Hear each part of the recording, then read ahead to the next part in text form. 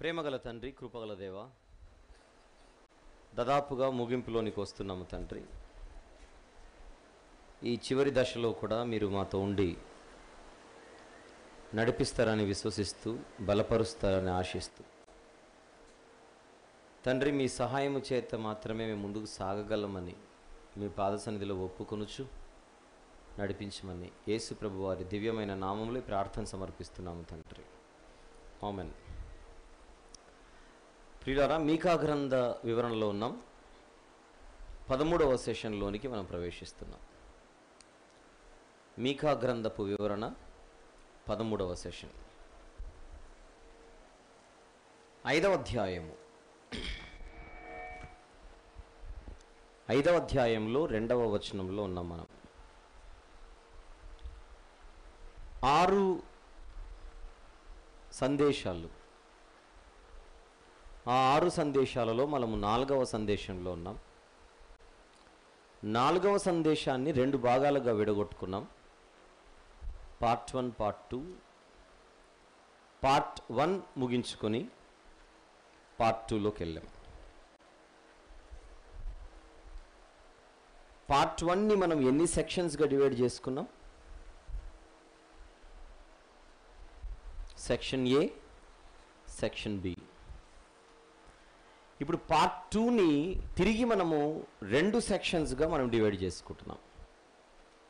Two sections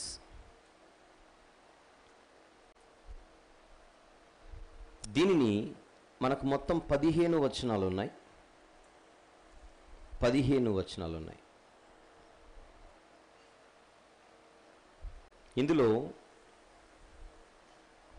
మొదటి ఐదు వచనాలు సెక్షన్ ఏ క్రిందికి మనము తీసుకుందాం.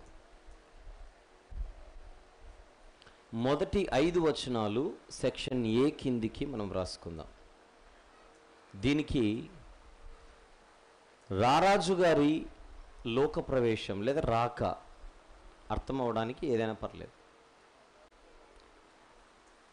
రారాజు గారి రాకను గూర్చిన ప్రవచనం అది. మొదటి వచనాన్ని ముగించుకొని రెండవ వచనంలో ఉన్నాము. అక్కడ నుంచే మొదలు పెడదాం. బెత్లెహేము ఎఫ్రాత యూదావారి కుటుంబములలో నీవు స్వల్ప గ్రామమైనను. నా కొరకు ఇస్రాయేలీలను ఏలబోవాడు నీలో నుండి వచ్చును. బెత్లెహేములో నుండి వచ్చాడు యేసుప్రభుల వారు. ఒకప్పుడు దానికి ఎఫ్రాతా అనేటువంటి పేరు ఉండేది అని మనం చదువుకున్నాం. కొన్ని వచనాలను కూడా మనం తీసుకున్నాం. ఈ ఎఫ్రాతాల్లో ఉండేటువంటి ప్రజలను ఎఫ్రాతీయులు అంటారని మనం గమనించాం. ఇది చూసిన మనము క్రొత్త నిబంధనను మనం గమనించినప్పుడు ఆయన బెత్లేహేంలోనే పుట్టినట్టుగా మనకు తెలుసు అందుకే వచనాలు తీయించట్లేదు. లేదు ఇవ్వండి అంటే కొన్ని చూద్దాం అయితే. మతేసు వార్త రెండవ అధ్యాయం ఐదవ వచనము. రాసుకోండి జనరల్గా. నెరవేర్పు కోసం. ఇది నెరవేరిందో లేదో అనడం కోసం. మతేసు వార్త రెండు ఐదు లూకాసు వార్త రెండు ఐదు. రాసుకొని తర్వాత చూడండి. మత్తైసు వార్త రెండు ఐదు లూకాసు వార్త రెండు ఐదు. అయితే యోహాను సువార్తలో ఉన్న మాట మాత్రం చూద్దాం. తెలుసు కదా హేరోదు రాజు ఈ క్రీస్తు ఎక్కడ పుట్టునని అడగగానే జ్ఞా మన పరిసయులు ముఖ్యంగా శాస్త్రులు యాజకులు వీళ్ళందరూ మీకా గారి ప్రవచనాన్ని ప్రస్తావించారు. ఈ ఈ ప్రవచనాన్ని వాళ్ళు ప్రస్తావించింది. పోనీ చూద్దాం మతేసు వార్తలో కూడా. రెండవ అధ్యాయము ఐదవ వచ్చిన నాలుగు నుంచి. కాబట్టి రాజు ప్రధాన యాజకులను ప్రజలలో నుండి శాస్త్రులను అందరినీ సమకూర్చి క్రీస్తు ఎక్కడ పుట్టునని వారిని అడిగినందుకు వారు యూదయ బెత్లహేములోనే ఏలైనగా యూదయ దేశపు బెత్లెహేమా నీవు నీవు యూదా ప్రధానులలో ఎంత మాత్రమును అల్పమైన దానివి కావు. ఇస్రాయేలను నీ నా ప్రజలను పరిపాలించు అధిపతి నీలో నుండి వచ్చినని ప్రవక్త ద్వారా వ్రాయబడి ఉన్నదని మీకా గారి ప్రవచనాన్నే వీళ్ళు ఎత్తి ఆ రోజు ప్రస్తావించారు. అందుకే పాత నిబంధనలో యేసుప్రభు గురించి ఎన్నో ప్రవచనాలున్నా మీకా గారు రాసిన ఈ ప్రవచనం మాత్రం చాలా ముందు వరుసలో ఉంటుంది. డిసెంబర్ మాసం వచ్చిందంటే ఖచ్చితంగా ఈ వచనం చదువుకోకుండా క్రిస్మస్ జరగదు. అంత ప్రఖ్యాతిగాంచిన ప్రవచనం ఇది. పాత నిబంధనలో యేసు ప్రభుకు సంబంధించిన క్రీస్తు ప్రవచనాలు ఏవైతే ఉన్నాయో ఆ క్రీస్తు రాక ప్రవచనాలలో అత్యంత ప్రాముఖ్యమైన బాగా అందరికీ తెలిసిన ప్రవచనం ఇది. క్రొత్త నిబంధనలోని మొదటి పేజీలోనే మీకా గారి ప్రవచనం మన కంటి కనబడుతోంది. ఒక చిన్న ప్రాంతం నుంచి వచ్చిన మీకా గారిని దేవుడు ఎంత గొప్పగా వాడుకుంటున్నాడో చూడండి. లుకాసు వార్త రెండు ఐదులో కూడా మీరు వచనాన్ని సపోర్టివ్గా తీసుకోండి. ఇప్పుడు నెమ్మదిగా యోహాను సువార్తలో ఒక మాట చూద్దాం ఏడవ అధ్యాయం. నలభై నుంచి నలభై నుండి నలభై రెండవ వచనం వరకు. జనసమూహంలో కొందరు ఈ మాటలు విని నిజముగా ఈయన ఆ ప్రవక్తయే అనిది అంటే ప్రవక్తలు చెప్పిన అంటే నా వంటి ప్రవక్త వస్తాడని మో మోషే గారు చెప్పారు కనుక అందుకోసం ఆయనను ప్రవక్త అని పిలిచారు. మరికొందరు ఈయన క్రీస్తే అనిది మరికొందరు ఏమి? క్రీస్తు గలిలయలో నుండి వచ్చిన క్రీస్తు దావీదు సంతానంలో పుట్టి దావీదు ఉండిన బెత్లెహేమను గ్రామంలో నుండి వచ్చునని లేఖనము చెప్పుట లేదా? ఏ లేఖనం? మీకా గారు రాసిన లేఖన. అంటే మీకా గారు ఆయన చెప్పిన మాటలు బైబిల్ అర్థం చేసుకోవడానికి లేదా బైబిల్లోని సందర్భాలను మనము పఠించడానికి ఎంత ప్రాముఖ్యమైనటువంటి ఒక కీలకమైన పుస్తకంగా మనకు కనబడుతుందో మనం గమనిద్దాం. ఒక రకంగా మీకా గ్రంథములో అందరికీ తెలిసిన వచనం ఏదైనా ఉందా అంటే ఇదే. మీకా గ్రంథం ఐదవ అధ్యాయము రెండవ వచనం. ఈ సభలకు వచ్చి ఈ సదస్సులలో మీరు ఈ వాక్యం వింటున్నారు గనుక మీకా గ్రంథం అంతా మీకు అర్థమవుతుంది కానీ ఒకవేళ ఇక్కడికి రాకపోయి ఉంటే దాదాపుగా మనలో చాలామందికి ఈ వచనం తప్ప మీకా గ్రంథంలో ఇంకేం తెలుసు? మీ ప్రాంతాలకు వెళ్ళినప్పుడు మీరు కూడా ఈ గ్రంథాన్ని మీకు తెలిసిన మేరకు వారికి తెలియజేసే ప్రయత్నం చేస్తే పది మందికి మనం ఈ వాక్యాన్ని అందించిన వారం అవుతాం. ఒకవేళ రికార్డ్ చేసుకుని ఉంటే ఆ రికార్డ్ చేసుకున్నదైనా అందించండి. వాక్యాన్ని మాత్రం ఎవరు సమాధి చేయకూడదు. వెళదాం ఇక. మీకా గ్రంథం ఐదవ అధ్యాయము నీవు స్వల్ప గ్రామమైనను నా కొరకు ఇస్రాయేలీలను ఏలబోవాడు నీలో నుండి వచ్చును. ఏలబోవాడు అంటే పాలకుడు పరిపాలకుడు రాజు ఏలిక.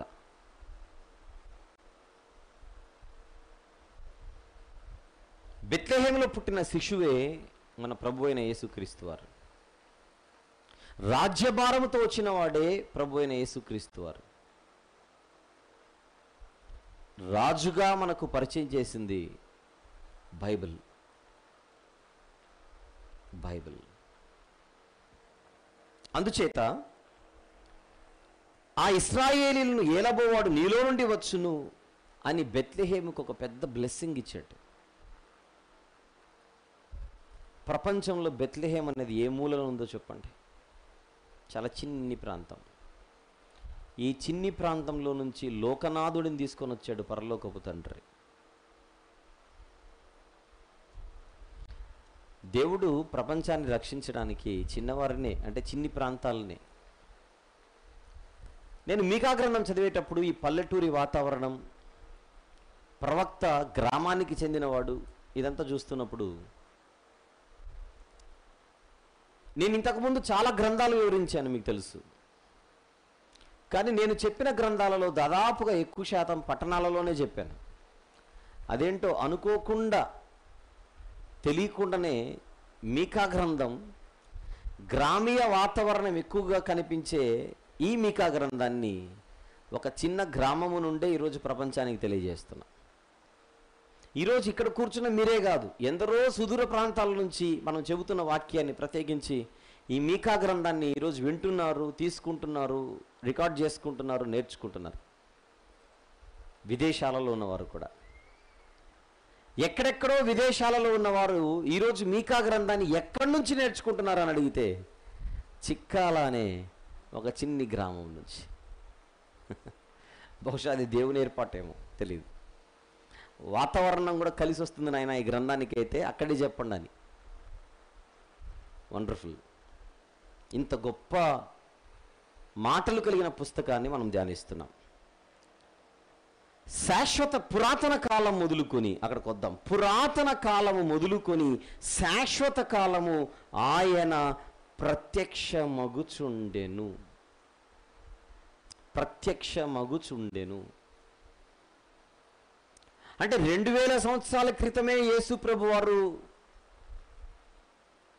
ఈ లోకానికి వచ్చినవాడు. ఈ లోకముతో ఆయనకున్న సంబంధం కేవలం రెండు వేల సంవత్సరాల క్రితం మాత్రమే అనుకుంటే పొరపాటు. కలిగి ఉన్నదేదియు ఆయన లేకుండా కలగలేదు. ఈ సర్వ సృష్టిలో అణువు అణువు ఆయన ద్వారా కలుగజేయబడింది.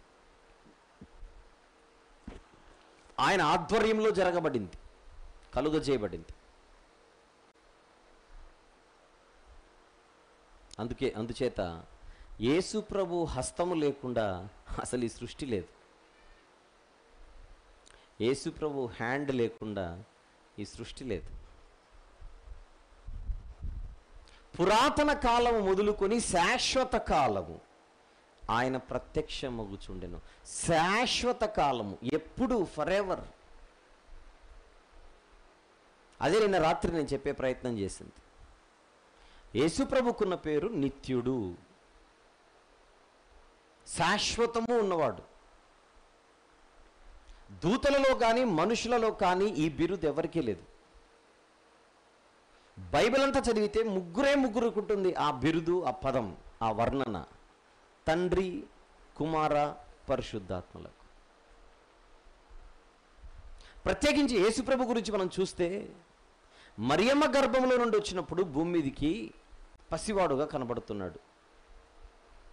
కానీ పసివాడుగా రాకముందు ఈ స్థితిలో లేనప్పుడు ఈ స్థితిలోనికి రాకముందు ఆయన ఉన్నవాడే కానీ లేనివాడు కాదు. అలాగే మనం వెనక్కి వెళ్ళిపోతే యహోవా దేవుణ్ణి యేసుప్రభుల వారు తండ్రి అని పిలుస్తున్నాడు. అంటే యహోవా దేవునికి యేసుప్రభుకున్న సంబంధం ఏంటి? తండ్రి కుమారులు. యహోవా దేవుడు తండ్రి యేసుప్రభు కుమారుడు అంటే యహోవా దేవునికి జన్మించిన వాడా యేసుప్రభు అలాగైతే ఎలా జన్మించాడు? ఎలా పుట్టాడు? ఈ ప్రశ్నలకి ఈ శరీరంలో ఉండి ఎవరూ జవాబు చెప్పలేరు. అది ఆత్మకు సంబంధించింది. అది ఆత్మకు సంబంధించింది. పోనీ మన ఊహ ప్రకారంగా ఎప్పుడో యేసుప్రభు వారు ఒకవేళ యహోవా దేవుడు అనే పరమాత్ముడి నుంచి ఆత్మగా ఆత్మ విభజన జరిగిందని అనుకుంటే ఒకవేళ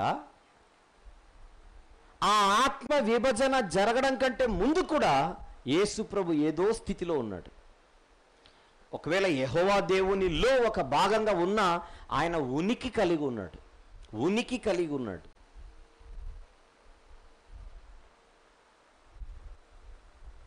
There was no time in the history where we can say that the Lord Jesus had no existence ఉనికి లేని కాలం లేదు యేసుప్రభుకి అది మనకు ఆయనకున్న తేడా. ఈ చిన్న మట్టి మెదడుతో ఈ పాయింట్ మనం అర్థం చేసుకుంటే అద్భుతంగా ఉంటుంది.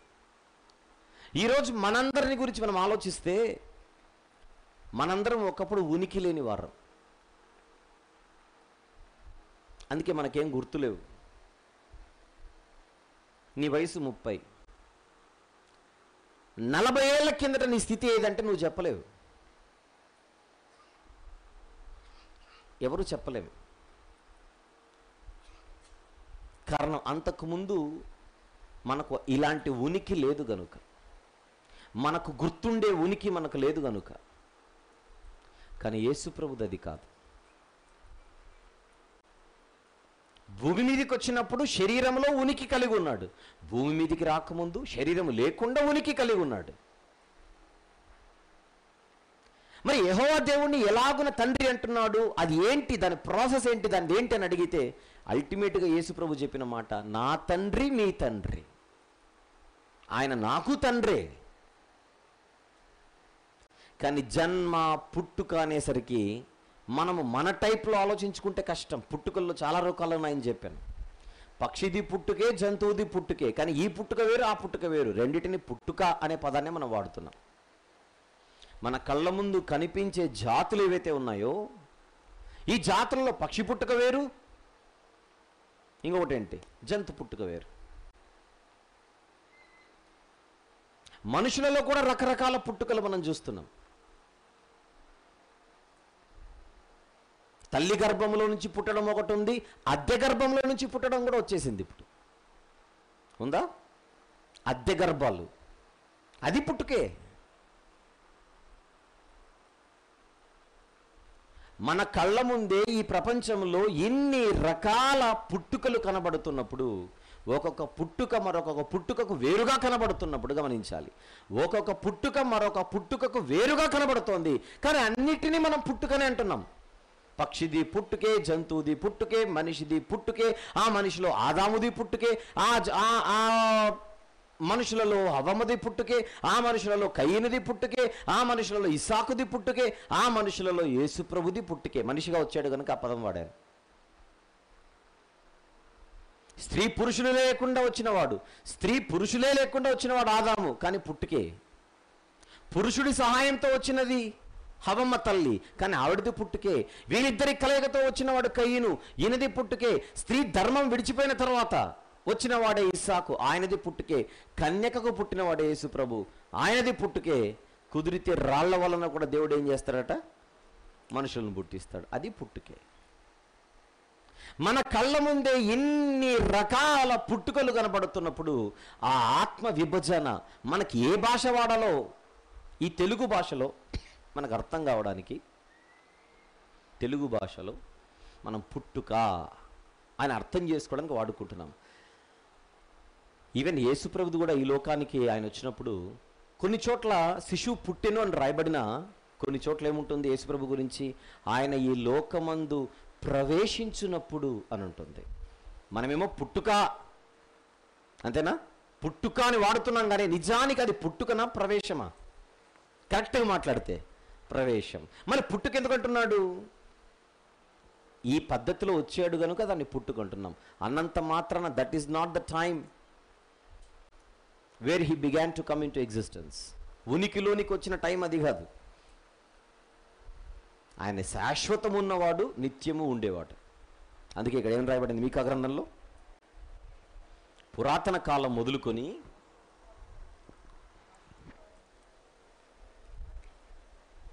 శాశ్వత కాలము ఆయన ప్రత్యక్ష మగుచుండెను అంటే అన్ని కాలాలలో ఏదో ఒక రూపంలో ఆయన ప్రత్యక్షం అవుతూనే ఉన్నాడు.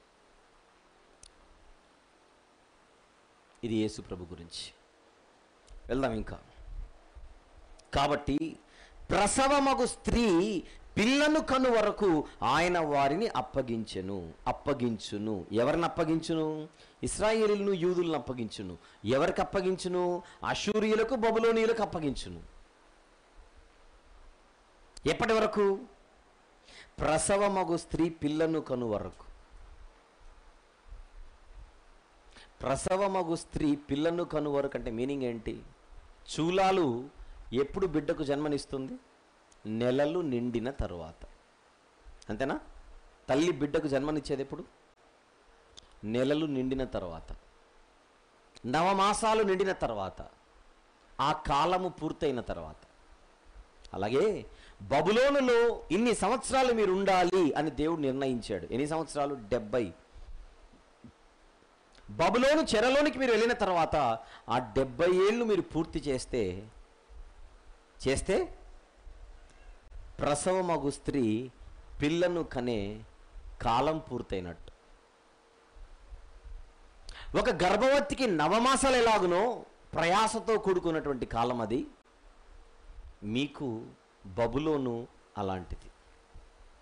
డెబ్బది సంవత్సరాలు మీరు అక్కడ ఉండాలని చెప్పాడా హిర్మియా గ్రంథంలో? చూద్దాం ఒకసారి.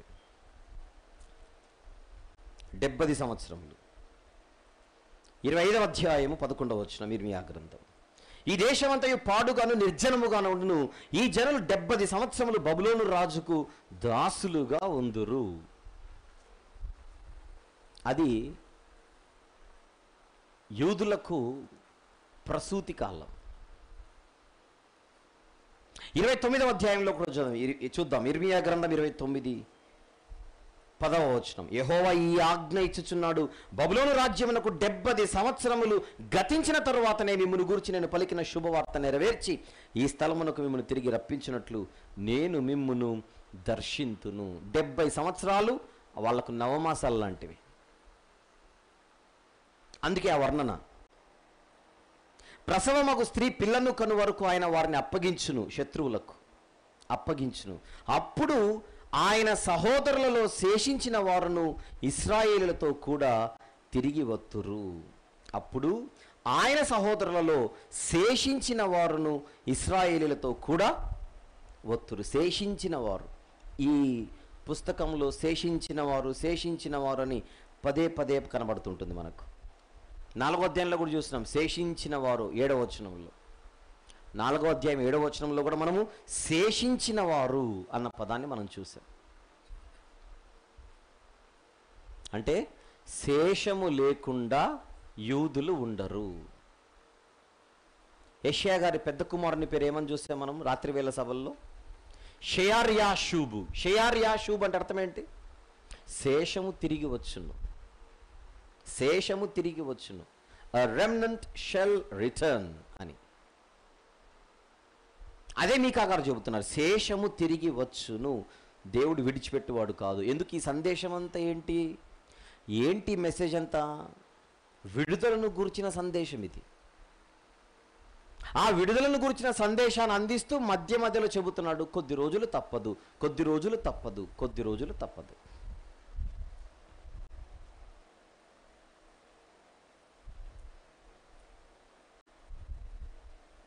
బెత్లెహేము నుండి రాబోతున్న పరిపాలకుడు ఎవరైతే ఉన్నారో ఆయన సహోదరులలో శేషించిన వారు ఇస్రాయిలతో కూడా తిరిగి వస్తురు నాలుగో వచనం. ఆయన నిలిచి ఎవరు నిలిచి? ఆ పాలకుడు నిలిచి యహోవా బలము పొంది తన దేవుడైన యహోవా నామ మహాత్మ్యమును బట్టి తన మందను మేపును మందను మేపును.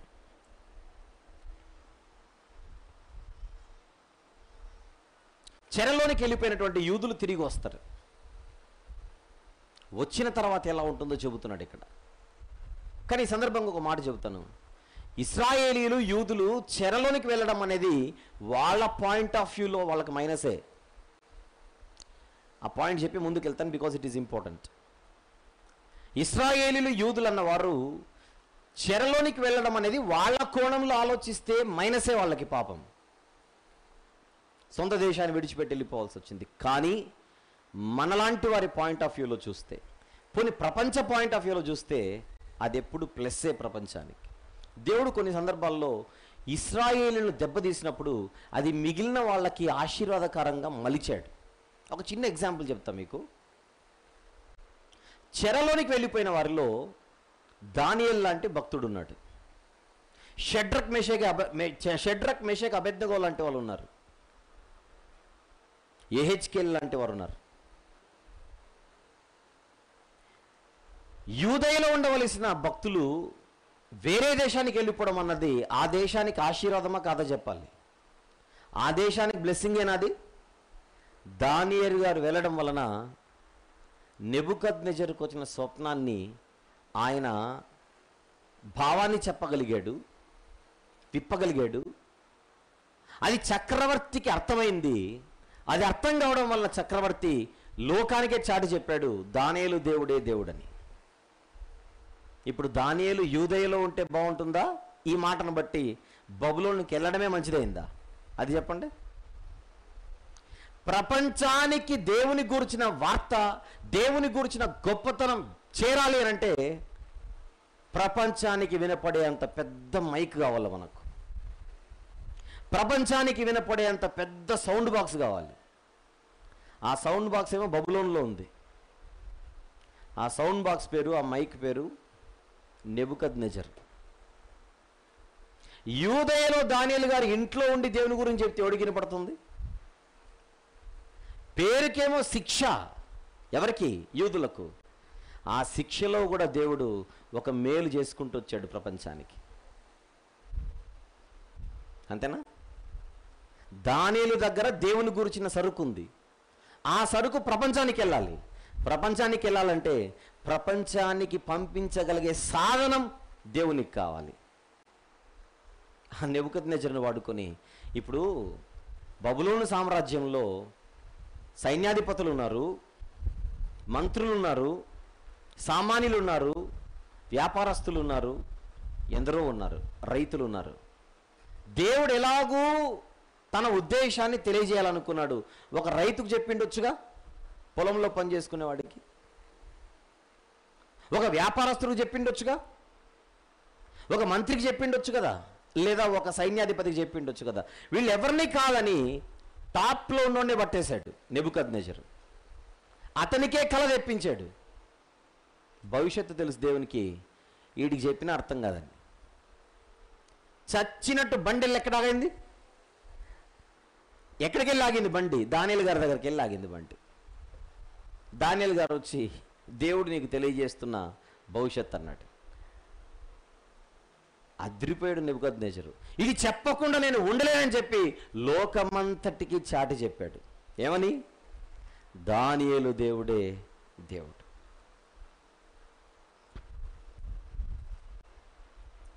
నేను చాలా గొప్పోడి నాకు మించినోడు లేడు అనుకున్నాడు నేచరు షెడ్రక్ మేషేది అభ్యర్థి వాళ్ళు అగ్గిలోకి వెళ్ళేసి వచ్చారు పార్క్లోకి వెళ్ళేసి వచ్చినట్టుగా. అది చూసి నివ్వెరపోయిన ఎవరు?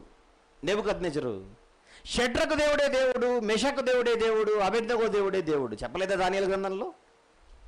ఇప్- ఇప్పుడు ఈ ముగ్గురు సొంత దేశంలో ఉంటే బాగుందా అక్కడికి వెళ్ళడమే మంచిదైందా? ఈ పాయింట్ ఆఫ్ వ్యూలో చెప్పండి.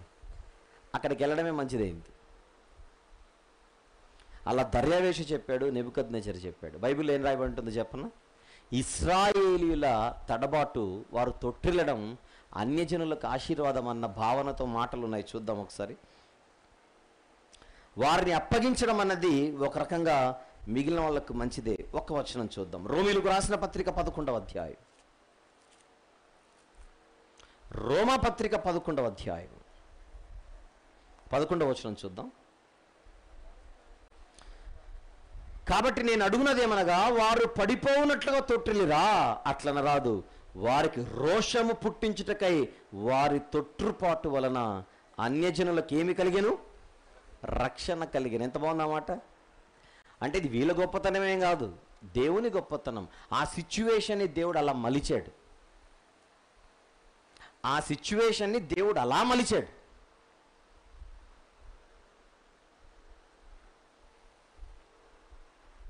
కొన్ని సందర్భాల్లో ఏ తప్పు చేయకున్నా కొంతమంది సేవకులు జైల్లో పాలవుతుంటారు.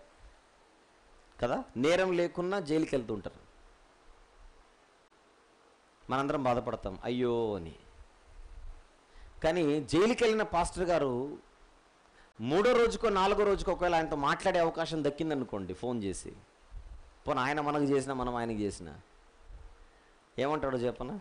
మీరేం బాధపడకండి నేను ఇక్కడ ఆల్రెడీ వాక్యం స్టార్ట్ చేశాను అంటాడు. ఎక్కడ? లోపల.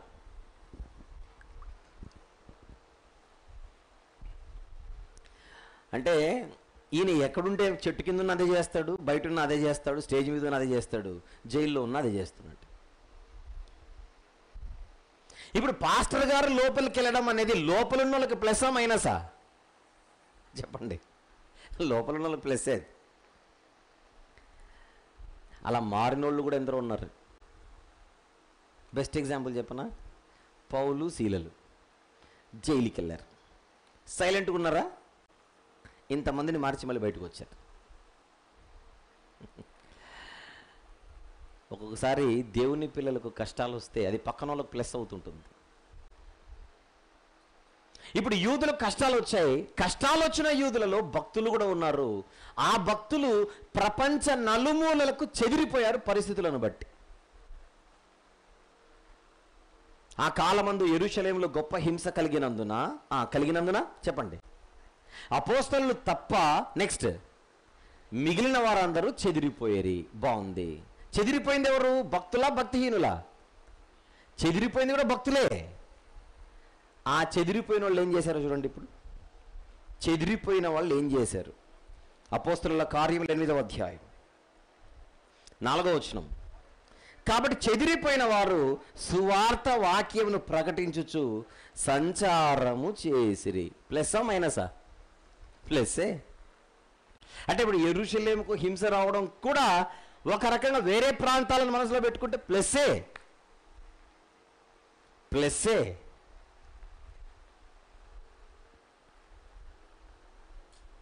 కొన్ని సందర్భాలలో మనకు కీడొస్తున్న దేవుడు ఏం చేస్తాడంటే వెంటనే దాన్ని పాజిటివ్ యాంగిల్లోకి తిప్పేస్తాడు.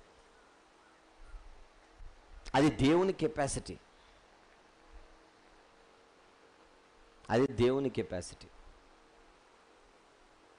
కానీ ఇక్కడ యూదులు ఎవరైతే ఉన్నారో ఈరోజు తప్పు చేసి చెరలోకి వెళ్ళిపోతున్న వాళ్ళు ఎవరైతే ఉన్నారో వాళ్ళందరూ భక్తులేం కాదు. భక్తులు కాదు కనుకనే వెళుతున్నారు. అయితే ఈ భక్తిహీనులతో పాటు అక్కడక్కడక్కడక్కడక్కడక్కడ భక్తులు కూడా వెళ్ళిపోయారు ఎలాంటి భక్తులు దానియల్ లాంటి భక్తులు షడ్రక్ మేషక్ అభ్యర్థగో లాంటి భక్తులు ఇంకా ఏజ్కేల్ లాంటి భక్తులు అక్కడికి వెళ్ళిన తర్వాత పుట్టిన భక్తులు కొంతమంది ఉన్నారు. నెహమియా లాంటి వాడు ఎజ్రా లాంటి వారు భక్తులు ఏ ప్రాంతంలో ఉంటే ఆ ప్రాంతానికి ఆశీర్వాదం. అదే ఇక్కడ అప్పగించును అన్న పదాన్ని బట్టి నేను చెబుతున్నాను మూడో వచనంలో. కాబట్టి ప్రసవమగు స్త్రీ పిల్లను కను వరకు ఆయన వారిని అప్పగించును అప్పగించును. అప్పగించడాన్ని బట్టి ఒకవేళ యూదులు బాధపడిన ప్రపంచానికి అది మేలు చేసింది అని మనం జాగ్రత్తగా మనం మాట్లాడుకోవచ్చు. చాలా చక్కగా దాన్ని మనం నిర్ధారించుకోవచ్చు. వద్దాం. మీకా గ్రంథం. ఐదవ అధ్యాయం నాలుగవ వచ్చినాం ఆయన నిలిచి యహోవ బలము పొంది తన దేవుడైన యహోవ నామ మహాత్మ్యమును బట్టి తన మందను మేపును మందను మేపును. మందను మేపేవాడెవరు కాపరి. అంటే నేను రాజు మాత్రమే కాదు కాపరి కూడా. తెలుసు కదా మనకు? యోహాన్ స్వార్థ పదవ అధ్యాయంలో నేను గొర్రెలకు మంచి కాపరిని అని మాట్లాడతాడు. ఒకటి నుంచి పదహారు వచనాలు లేదా ఒకటి నుంచి పద్దెనిమిది వచనాలు రాసుకోండి తర్వాత ఫ్యూచర్ పనికి వస్తుంది. తమ మందను మేపును. కాగా వారు నిలుతురు. యశాగ్రంథంలో ఒక రెండు వచనాలు చూద్దాం. దీని గురించి నలభై అధ్యాయం యశాగ్రంథం పదకొండవ వచనము చూద్దాం. పదకొండు. గొర్రెల కాపరి వలె ఆయన తన మందను మేపును. సేమ్. అందుకే మీకా గ్రంథాన్ని ఏమంటారంటే క్రైస్తవ్యంలో యష్యా గ్రంథాన్ని షార్ట్ చేస్తే మీకా గ్రంథం వస్తుంది అన్న ఒక చిన్న వర్ణన మీకా గ్రంథానికి ఉంటుంది. యష్యా గారికి మీకా గారికి ఒక చిన్న తేడా ఏంటని అడిగితే మీకా గారు యూదులు ఇస్రాయేలీలు వీళ్ళిద్దరి గురించే మాట్లాడాడు. ఏషియా గారు ఇంటర్నేషనల్ విషయాలు కూడా మాట్లాడాడు. అంతర్జాతీయ విషయాలు కూడా మాట్లాడాడు ఏషియా గారు. మీకా గారు తన ప్రాంతానికి మాత్రమే పరిమితమై మాట్లాడాడు. తన ప్రాంతానికి మాత్రమే పరిమితమై మాట్లాడిన మీకా గారి మాటలు ఏవైతే ఉన్నాయో అవన్నీ మనసులో పెట్టుకొని యష్యా గ్రంథంలో యూదులు ఇస్రాయేలీల గురించి చెప్పబడిన మాటలన్నీ ఏరి పక్కన పెడితే మళ్ళీ యూదులు ఇస్రాయేలీల గురించినటువంటి యష్యా గారు చెప్పిన మాటలన్నీ తీసి ఒక చోట పెట్టి ఎందుకంటే అక్కడ చాలా విషయాలు చెప్తాడు యష్యా గారు. వేరే వేరే వాళ్ళ గురించి కూడా మాట్లాడతాడు. వేరే దేశస్తుల గురించి మాట్లాడతాడు. అవన్నీ పక్కన పెట్టి ఇవి మాత్రమే తీసి పక్కన పెట్టి మీకా గ్రంథాన్ని ఆ గ్రంథాన్ని మనం పక్కన పెట్టుకుంటే దాదాపుగా ప్యారలల్గా వెళ్తుంటాయి గ్రంథాలు ఈ రెండు కూడా. అదే నేను చెప్తున్నాను యష్యా గారు. గొర్రెల కాపరి వల్ల ఆయన తన మందను ఏం చేస్తారట? మేపును. నలభై తొమ్మిదవ అధ్యాయం యష్యా గ్రంథము నలభై తొమ్మిది. తొమ్మిదవ వచనం ఒక్కసారి చూద్దాం. తొమ్మిది. మార్గములలో వారు మేయుదురు చెట్లు లేని మిట్టలన్నిటి మీద వారికి మేపు కలుగును.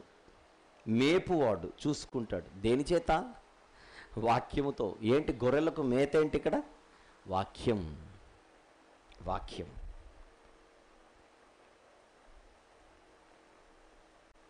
ఆయన భూమి అంతముల వరకు ప్రబలుడగును.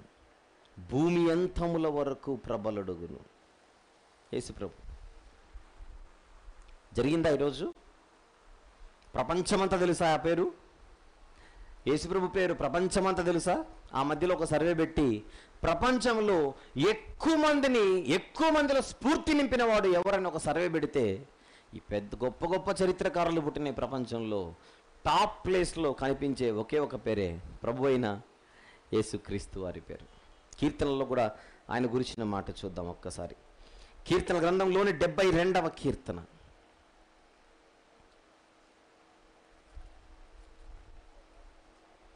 కీర్తనల గ్రంథములోని డెబ్బై ఎనిమిదవ కీర్తన. డెబ్బై రెండవ కీర్తన క్షమించండి. ఎనిమిదవ వచనం ఒకసారి చూద్దాం. ఎనిమిదవ వచనం. సముద్రం నుండి సముద్రం వరకు. యూఫ్రటీస్ నది మొదలుకొని భూ దిగంతముల వరకు అతడు రాజ్యము చేయును. ఈరోజు మనం కూడా ఆయన ప్రభుత్వంలోనే ఉన్నాం. ఈరోజు మనము కూడా ఆయన ప్రభుత్వంలో ఉన్నాం. ఆయన రారాజుగా ఆయన దాసులుగా బతుకుతున్నాం. మొత్తం ప్రబలిపోయింది. అదే చెబుతున్నాడు మీకా గారు. భూమి అంతముల వరకు ఆయన ప్రబలుడగును. ఎంత బాగుందో ఆ మాట చదువుతుంటే. కదా?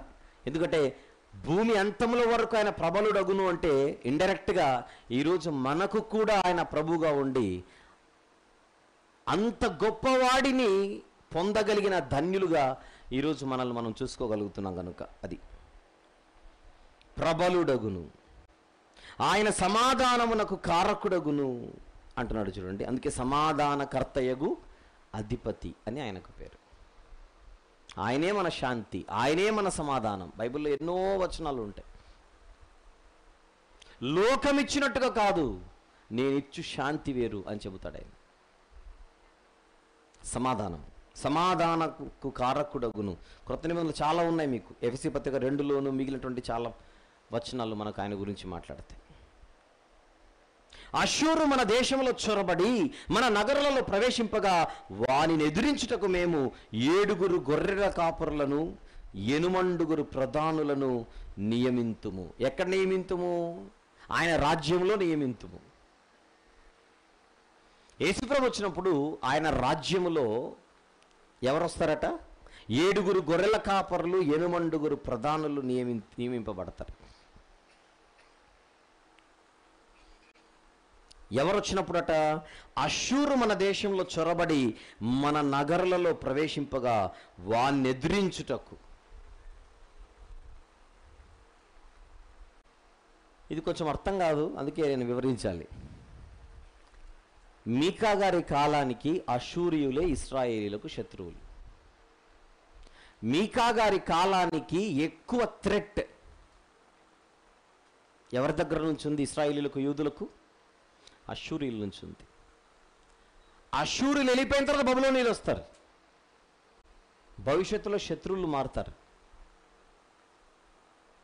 శత్రువులు ఎవరైనా వాళ్ళందరికీ ప్రాతినిధ్యముగా అశూరు అన్న పదాన్ని వాడాడు మీకా గారు. అంటే యేసు ప్రభు వచ్చేసరికి మళ్ళీ అశూరియులు వస్తారని కాదు. ఈ వచనం సరిగా అర్థం కాక ఇప్పటికీ కొంతమంది అషూరు అనేది ఒకప్పుడు ఎక్కడైతే ఉన్నిందో భూభాగం ఈరోజు అది ఉత్తర ఇరాక్. ఈరోజు ప్రపంచ పట్టంలో నార్దర్న్ ఇరాక్ అది. ఆ భూప్రాంతాన్ని భవిష్యత్తులో ఇస్రాయేల్ ఏలుతారు అని ఎదురు చూస్తున్నారు ఈ వచనాన్ని బట్టి. ఏ వచనాన్ని బట్టి? ఐదవ వచనాన్ని బట్టి. అషూరు మన దేశంలో చొరబడి మన నగరంలో ప్రవేశింపగా దానిని ఎదిరించుటకు ఇక్కడ నాయకులు తయారవుతారు అని చెప్తున్నాడు. ప్రధానులు. అక్కడ చెప్పబడుతున్నది అక్కడ చెప్పబడుతున్నది. ఒక్కొక్కసారి మనం మాట్లాడుతుంటాం. ఇప్పుడు నేను ఒక మాట అంటాను. మోడీ గారు వచ్చిన ప్రాబ్లం లేదండి. మనం మాట్లాడవచ్చు అన్నాను. మోడీ గారు వచ్చినా పర్లేదండి. ఇప్పుడు ఈ మెసేజ్ వంద సంవత్సరాల తర్వాత ఫ్యూచర్లో ఎవరైనా వింటున్నారు అనుకోండి ఈ మెసేజ్. అప్పుడు వాళ్ళు మోడీ అన్న పేరు మీద ఎవరో వస్తారని ఎదురు చూడకూడదు. వాళ్ళు వినే మెసేజ్లో ఏ వ్యక్తి అయితే ఆ మాటలు చెబుతున్నాడో ఆ వ్యక్తి చెప్పే సమయానికి భారతదేశంలో అత్యంత టాప్ పొజిషన్లో ఎవరున్నారు అని అడిగితే మోడీ అన్న పేరు మీద ఒక ఆయన ఉన్నాడు. ఆయన దృష్టిలో పెట్టుకొని నేనేదో ఒక పదాన్ని వాడాను. వందేళ్ళ తర్వాత రాబోయే తరాల వారు ఈ మెసేజ్ వినేటప్పుడు మోడీ అన్న పేరు మీద ఎవరో వస్తారు అని ఎదురు చూస్తే అది ఎలా మూర్ఖత్వం అవుతుందో ఇస్రాయేలీలు అశూరులను తొక్కేస్తారని ఈరోజు మనం అనుకోవడం అనేది అంతే మూర్ఖత్వం అవుతుంది. మోడీ రాని డొనాల్డ్ ట్రంప్ రాని పుతిన్ రాని ఇమ్రాన్ ఖాన్ రాని అన్నాను. ఇంతకు వీళ్ళందరూ ఎవరు? ఆయా దేశాలకు అధ్యక్షులు ప్రధానమంత్రులు. నేను మాట్లాడే సమయానికి ప్రపంచంలో శక్తిగల అధిపతులు ఎవరైతే ఉన్నారో ప్రధానులు ఎవరైతే ఉన్నారో వాళ్ళ పేర్లు ప్రయోగించాను. వందేళ్ళ తర్వాత ఎవరైనా మాట్లాడుకోవాలనుకుంటే వాళ్ళున్న టైంకి ఎవరైతే ఉంటారో వాళ్ళ పేర్లు పెట్టుకోవాలి. అంటే నరేంద్ర మోడీ అన్న పేరు ఈ మెసేజ్కి సంబంధించి భవిష్యత్తులో ఏ ప్రధానమంత్రికైనా ప్రాతినిధ్యం వహించే ఒక పేరు. ఇది మీకు అర్థమైతే మీకా గారి కాలానికి ఉన్నత శిఖరాలపై బలమైన రాజ్యంగా ఉన్నదే అశూరు సామ్రాజ్యం. మీకా గారు చెబుతున్న విషయం ప్రభు అయిన యేసుక్రీస్తు వారి రాజ్యం భవిష్యత్తులో వచ్చినప్పుడు అశూరు లాంటి వాళ్ళు వచ్చిన అశూరు లాంటి వాళ్ళు అంటే ఆయన కాలానికి అదే టాప్. బలమైన సామ్రాజ్యం. అంటే బలవంతులైన శత్రువులు. బలవంతులైన శత్రువులు క్రీస్తు రాజ్యములో ఒకవేళ వాళ్ళు ప్రవేశించాలన్నా ఆ క్రీస్తు రాజ్యంలో ఎవరు ఉంటారట గొర్రెల కాపరులు. ఇంకా ప్రధానులు ఉంటారట. వీళ్ళేం చేస్తారు? వారు అశ్యూరును అశూరు దేశమును దాని గుమ్మముల వరకు నిమ్రోదు దేశమును ఖడ్గము చేత మేపుదురు. అశూరియులు మన దేశంలో చొరబడి మన సరిహద్దులలో ప్రవేశించినప్పుడు ఆయన ఈలాగున మనలను రక్షించును. అంటే భవిష్యత్తులో క్రీస్తు రాజ్యం వచ్చినప్పుడు ఆ క్రీస్తు రాజ్యంలో గొర్రెల కాపర్లు ఉంటారు ప్రధానులు ఉంటారు. వీళ్ళు ఏం చేస్తారట? శత్రువులు ఈ రాజ్యంలోనికి ప్రవేశిస్తే తరిమి కొడతారట ఖడ్గము చేత. ఎంతమంది? కాపర్లు అయితే ఏడుగురు ప్రధానులు అయితే ఎనిమిదిగురు. ఏడు అంటే ఎలా ఉంటుంది? ఒక అడ్డు గీత క్రాస్గా ఒక నిలువు గీత. ఎనిమిది అంటే పైన ఒక సున్నా కింద ఒక సున్నా రెండింటిని కలిపితే ఎనిమిది అని మీరు ఆ సంఖ్యకి వెళ్ళకండి కరెక్ట్గా ఏడు కరెక్ట్గా ఎనిమిది అని కాదు. మనం వాడే భాషలో మనం వాడే భాషలో అక్కడ ఒక ఐదు ఆరుగురు ఉన్నారు వాళ్ళని రమ్మని చెప్పండి అన్నాను అనుకోండి. కరెక్ట్గా ఐదు కరెక్ట్గా రాని కాదు కొంతమంది. కొంతమంది. ఈరోజు రాత్రి మీటింగ్స్ అయిపోతాయి. ఈరోజు రాత్రి మీటింగ్స్ అయిపోతాయి. రాత్రికే వెళ్ళిపోయే వాళ్ళు కొంతమంది ఉంటారు. రాత్రి ఉండి రేపు వెళ్ళిపోయే వాళ్ళు కొంతమంది ఉంటారు. రేపు పగలంతా ఉండి రేపు ఒకవేళ రేపు రాత్రి రిజర్వేషన్ ఉంటే రేపు రాత్రి వెళ్ళిపోయే వాళ్ళు ఉండొచ్చు. నేను అడిగాను ఎంతమంది ఉన్నారు గ్రౌండ్లో అని. ఒక ఇరవై ముప్పై మంది ఉంటారండి అని అన్నారు ఎవరో ఫోన్లో. నిజంగా ఇరవై ముప్పయా? నేను వచ్చి లెక్క పెట్టకూడదు ఇక ఇరవై ముప్పై మంది అంటే అర్థం ఏంటి? కొంతమంది. అది వాడే పదజాలం. వాడే పది పదజాలం. చిక్కాలలో ఆరు రోజులు మీటింగ్ జరిగాయండి. సుమారు ఒక యాభై అరవై మంది వాలంటీర్లు చక్కగా ఫస్ట్ కన పని చేశారండి అన్నాను. యాభై అరవై అనగానే అక్కడ రిజిస్టర్ కౌంటర్లో నుంచి నాకు ఒక పేపర్ తెచ్చి ఎట్లా చెప్తాను యాభై మంది అని ఇక్కడ ఎనభై మంది ఉన్నారు అన్నారు అనుకోండి. యాభై అరవై అంటే మామూలుగా పదజాలంలో వాడిన మాట నువ్వు కరెక్ట్గా ఐదు పక్కన సున్నా ఆరు పక్కన సున్నా అని వేసుకోకూడదు అక్కడ.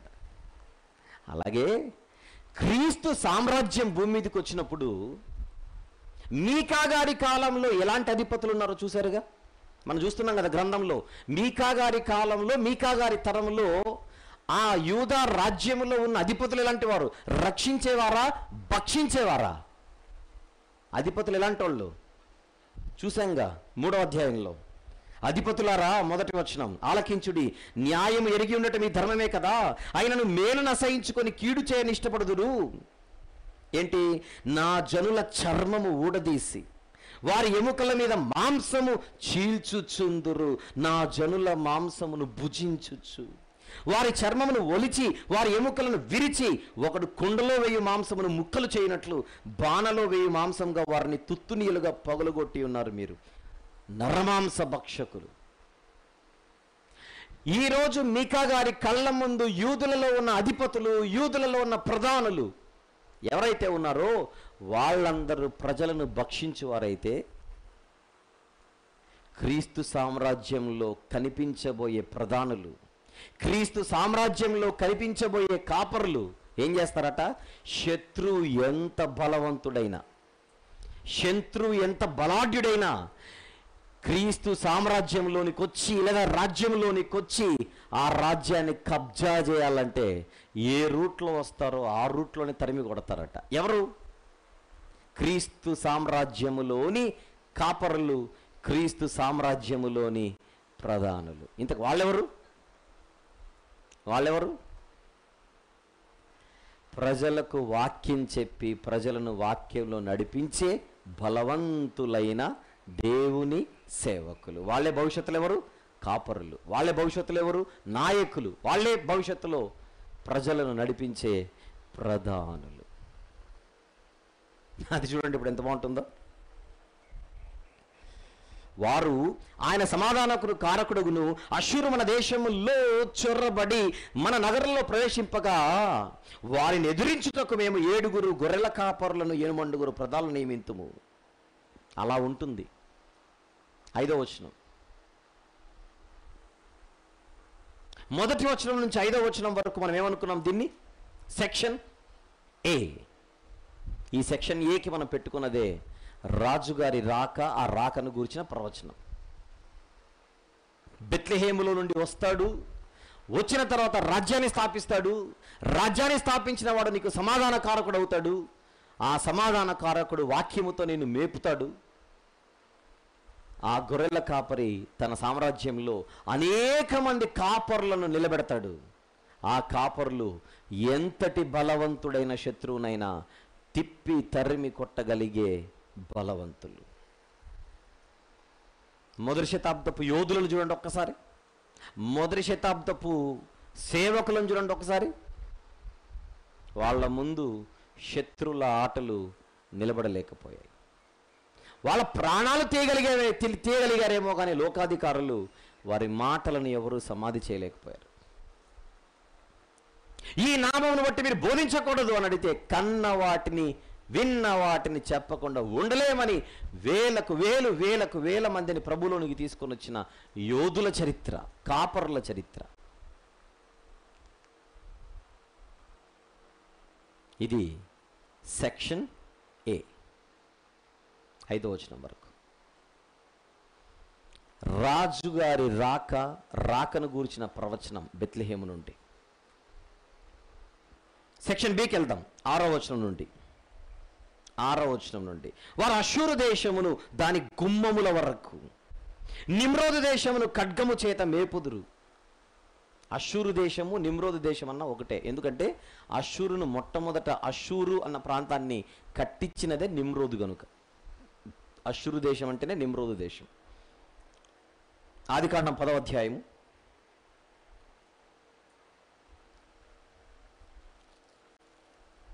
ఆదికాండము పదవ అధ్యాయం. మీరు ఎనిమిదో వచనం నుంచి రాసుకోండి. ఆయన అశూరు అన్న ప్రాంతాన్ని డెవలప్ చేసినట్టుగా నీనేవే అనే పట్టణాన్ని కట్టించినట్టుగా చూడగలం పదకొండవ వచనంలో. ఆ దేశంలో నుండి అశూరుకు బయలుదేరి వెళ్ళి నీనేవెను ఆయన కట్టించాను. ఎవరితను? ఎనిమిదో వచనంలో నిమ్రోదు అని మనకు పరిచయం అవుతుంది. నిమ్రోదు అని పరిచయం అవుతుంది. ఆ నిమ్రోదు కట్టించిన నేనేవే అశూరియులకు రాజధాని గనుక అశూరు ప్రాంతాన్ని డెవలప్ చేసింది మొట్టమొదట నిమ్రోదు గనుక ఆ ప్రాంతానికి నిమ్రోదు దేశం అని కూడా వచ్చింది. అది మనసులో పెట్టుకోండి. ఆ నిమ్రోదు దేశమును ఖడ్గము చేత మేపుదురు అంటే శత్రువులు ఎవరైనా ఏ ప్రాంతం నుంచి అయినా వస్తే భవిష్యత్తులో ఖడ్గం అంటే నిజంగా కత్తి కాదు. వాక్యం అనే ఖడ్గం. ఆ వాక్యం అనే ఖడ్గముతో శత్రువులకు కూడా భోజనం పెట్టి మేపుతారట. మేపుదురు. ఇంకా? నెక్స్ట్ అశ్వరీయులు మన దేశంలో చొరబడి మన సరిహద్దులలో ప్రవేశించినప్పుడు ఆయన ఈలాగున మనలను రక్షించును. రక్షించును. యశాగ్రంథం పద్నాలుగు. యశాగ్రంథం పద్నాలుగవ అధ్యాయం. ఇరవై ఐదవ వచనము చూద్దాం ఒక్కసారి. యశాగ్రంథం పద్నాలుగు ఇరవై ఐదవ వచనం చూస్తున్నాం. నా దేశంలో అశూరును సంహరించేదను నా పర్వతముల మీద దాని వాని నలుగద్రొక్కెదను వాని కాడి నా జనుల మీద నుండి తొలగిపోవును. ఆత్మీయార్థంతో కూడుకున్నటువంటి మాటలు ఇవి. ఓకే? రైట్. ఏడవ వచనం మనం సెక్షన్ బిలోకి వెళ్తున్నాం గమనించండి. యాకోబు సంత ఆరో వచనం నుండి మనం ముందుకెళ్తున్నట్టు. యాకోబు సంతతిలో శేషించిన వారు యహోవా కురిపించు మంచు వలెను మనుష్య ప్రయత్నము లేకుండా నరుల యోచన లేకుండా గడ్డి మీద పడు వర్షము వలె ఆయా జనముల మధ్య నుందురు. యాకోబు సంతతిలో శేషించిన వారు. ఎలా ఉంటారు? యహోవా కురిపించు మంచు భవిష్యత్తులో ఎవరైతే కేవలం కోరేషు ద్వారా విడుదల వచ్చిన తర్వాత వచ్చేటువంటి శేషమే కాదు. భవిష్యత్తులో క్రీస్తు సామ్రాజ్యంలో ఎవరైతే ఉంటారో వాళ్ళందరూ ఎలా ఉంటారు? మంచు వలె ఉంటారు. మంచు అనేది గుర్తుపెట్టుకోండి. మంచు అన్నది దేవుని ఆశీర్వాదాన్ని సూచించే ఒక పదం. గడ్డి మీద మంచు అంటే అది బ్లెస్సింగ్ గడ్డి మీద మంచు అన్నది. ఉదాహరణకు యాకోబు సంతతిలో శేషించిన వారు యహోవా కురిపించు మంచు వలెను మనుష్య ప్రయత్నము లేకుండా నరుల యోచన లేకుండా గడ్డి మీద పడు వర్షము వలె ఆయా జనముల మధ్య ఉందురు. బైబిల్లో మంచు దీవెనకు సూచన ఆశీర్వాదానికి సూచన అన్న కొన్ని వచనాలు వ్రాసుకుంటే మంచిది చూద్దాం. ద్వితీయోపదేశ కాండ ముప్పై రెండు రెండు. తర్వాత చూడండి. ద్వితీయోపదేశకాండం ముప్పై రెండు రెండు. యష్యాగ్రంథం పది ఇరవై. యష్యాగ్రంథము పది ఇరవై. మంచు మంచు దీవెనకు సూచనని పదకొండవ అధ్యాయం పదకొండవ వచనం యష్యాగ్రంథం పదకొండవ అధ్యాయం పదకొండవ వచనం యష్యాగ్రంథం ముప్పై ఏడవ అధ్యాయము ముప్పై ఒకటి ముప్పై రెండు వచనములు. యష్యాగ్రంథం ముప్పై ఏడవ అధ్యాయం ముప్పై ఒకటి ముప్పై రెండు వచనములు. అలాగే సామెతల గ్రంథం పంతొమ్మిదవ అధ్యాయం. సామెతల గ్రంథం పంతొమ్మిదవ అధ్యాయం. పన్నెండవ వచనం. మంచు అన్నది దేవుని ఆశీర్వాదానికి సూచనగా మనం చూడొచ్చు. ఈ వచనాల తర్వాత చూడండి మీరు అనేది నా ఉద్దేశం. ఆయా జనముల మధ్య శేషింపబడిన వారు ఎలా ఉంటారట? గడ్డి మీద పడు వర్ష వర్షము వలె ఆయా జనముల మధ్య నుందురు ఆయా జనముల మధ్య నుందురు అంటే వీళ్ళు ఎక్కడైతే ఉంటారో ఆ ప్రజలకు ఏముంటుంది అక్కడ? బ్లెస్సింగ్ ఒకటి రెండు వచనాలు చూద్దాం. ఎలాగ మనం మాట్లాడుకుంటున్నాం కనుక ద్వితీయోపదేశకాండం ముప్పై రెండు రెండు వచనాలు ఇచ్చాను కనుక ఒక్క రెండు వచనాలైనా చూద్దాం. ద్వితీయోపదేశకాండం ముప్పై రెండు రెండు. నా ఉపదేశము వానవలే కురియును నా వాక్యము మంచు వలె లేతగడ్డి మీద పడు చినుకుల వలె పచ్చిక మీద కురియు వర్షము వలె ఉండును. ఈ క్రీస్తు రాజ్యంలో ఉన్నవారు ఎక్కడైతే ఉంటారో వాళ్ళు ఏం కురిపిస్తుంటారు? చెప్పండి. వర్షాన్ని కుమ్మరిస్తుంటారు. ఇప్పుడు వేసవి కాలంలో చిక్కల్లో ఏం కురుస్తున్నాయి? వర్షాలు బీభత్సంగా పడుతున్నాయి. అవునా లేదా? ఊపిరి ఆడకుండా పడుతున్నాయి వర్షాలు.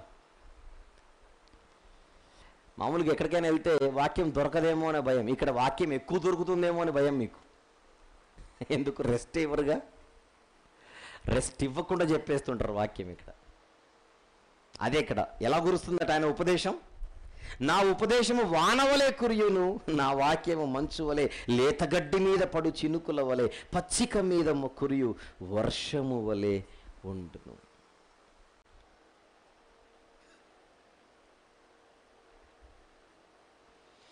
ఒక రష్యా పది ఇరవై తీయండి ఒక రష్యా ముప్పై ఏడు ముప్పై ఒకటి రెండు తీయండి చూద్దాం. స్పీడ్కి చదువుదాం. ఏషియా గ్రంథం పదవాధ్యాయం ఇరవయవ వచనము చూద్దాం. ఇరవయవ వచనం. ఆ దినమున ఇస్రాయేలు శేషమును యాకోబు కుటుంబీకులను తప్పించుకుని వారును తమను హతము చేసిన వారిని నీకు ఆశ్రయింపక సత్యమును బట్టి ఇస్రాయేలు పరిశుద్ధ దేవుడైన యహోవాను నిజముగా నిజముగా ఆశ్రయించేదరు. శేషము శేషము వస్తుంది అనడానికి. అలాగే ముప్పై ఏడవ అధ్యాయం ముప్పై ఒకటి ముప్పై రెండు వచనాలలో కూడా శేషము తిరిగి వచ్చిన అర్థం ఉంటుంది. యశాగ్రంథ ముప్పై ఏడు ముప్పై ఒకటి ముప్పై రెండు వచనములు. యుధ వంశములో తప్పించుకున్న శేషం ఇక క్రిందికి వేరు తన్ని మీదికి ఎదిగి ఫలించును శేషించి వారు ఎరుశలేములో నుండి బయలుదేరుదురు. తప్పించుకుని వారు సియోను కొండలో నుండి బయలుదేరుదురు. సైన్యములకు అధిపతి యహోవ ఆసక్తి దీన్ని నెరవేర్చును. అప్పుడు వీళ్ళందరూ ఎలా ఉంటారు? అది మనం చూసాం. మంచు వలె ఉంటారు. దీవెనకరంగా ఉంటారు. సామెతల గ్రంథం అది కూడా చదివేసేయండి. పంతొమ్మిదవ అధ్యాయం పన్నెండవ వచనం. రాజు కోపము తీస్తున్నారా? పంతొమ్మిదవ అధ్యాయము పన్నెండవ వచనం. రాజు కోపము సింహగర్జన వంటిది అతని కటాక్షము గడ్డి మీద కురియు మంచు వంటిది. గడ్డి మీద కురియు మంచు వంటిది. అంటే ఆయన కటాక్షం చల్లని చూపు. అది దీవెన బ్లెస్సింగ్. ఇప్పుడు క్రీస్తు సామ్రాజ్యంలో ఉన్నవారు ఎక్కడెక్కడైతే చెదిరిపోతారో అక్కడందరి ప్రజలకు వాళ్ళు ఏమాట ఆశీర్వాదకరం. ఎనిమిదో వచనం. యాకోబు సంతతిలో శేషించిన వారు అన్యజనుల మధ్య అనేక జనములలో అడవి మృగములలో సింహము వలె. ఎలా ఉంటారట వీళ్ళు? సింహాల వలె ఉంటారట. సింహం ఎట్లుంటుంది? టీవీగా. టీవీగా ఉంటుంది. బైబిల్లో ఇస్రాయేలీలను సింహంతో పోల్చారు. బిలాం అన్నవాడు తెలుసు కదా మనకు బిలాము. మోయాబు రాజు ఇస్రాయేల్ గురించి నువ్వు మాట్లాడాలని పిలిస్తే శపిస్తాడేమో అనుకుంటే వీళ్ళను పొగుడుతూ మాట్లాడాడు దీవిస్తూ మాట్లాడాడు. అలా దీవిస్తూ పొగుడుతూ మాట్లాడిన మాటలో ఇస్రాయేలును ఎలాంటి పదజాలంతో వా- వాడాడో చూద్దాం ఒకసారి. సంఖ్యాకాండం ఇరవై నాలుగవ అధ్యాయం. సంఖ్యాకాండం ఇరవై నాలుగవ అధ్యాయం. తొమ్మిదో వచనం చూద్దాం. సింహము వలె ఆడు సింహము వలె అతడు కృంగి పడుకొనేను అతనిని లేపువాడేవాడు?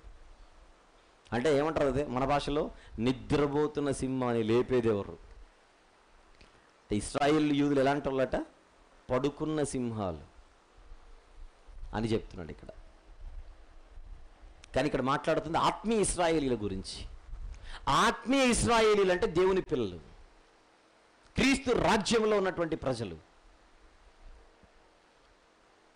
అలాంటి వారిని టచ్ చేయడం అంత మంచిది కాదు అనేది పాయింట్ ఇక్కడ.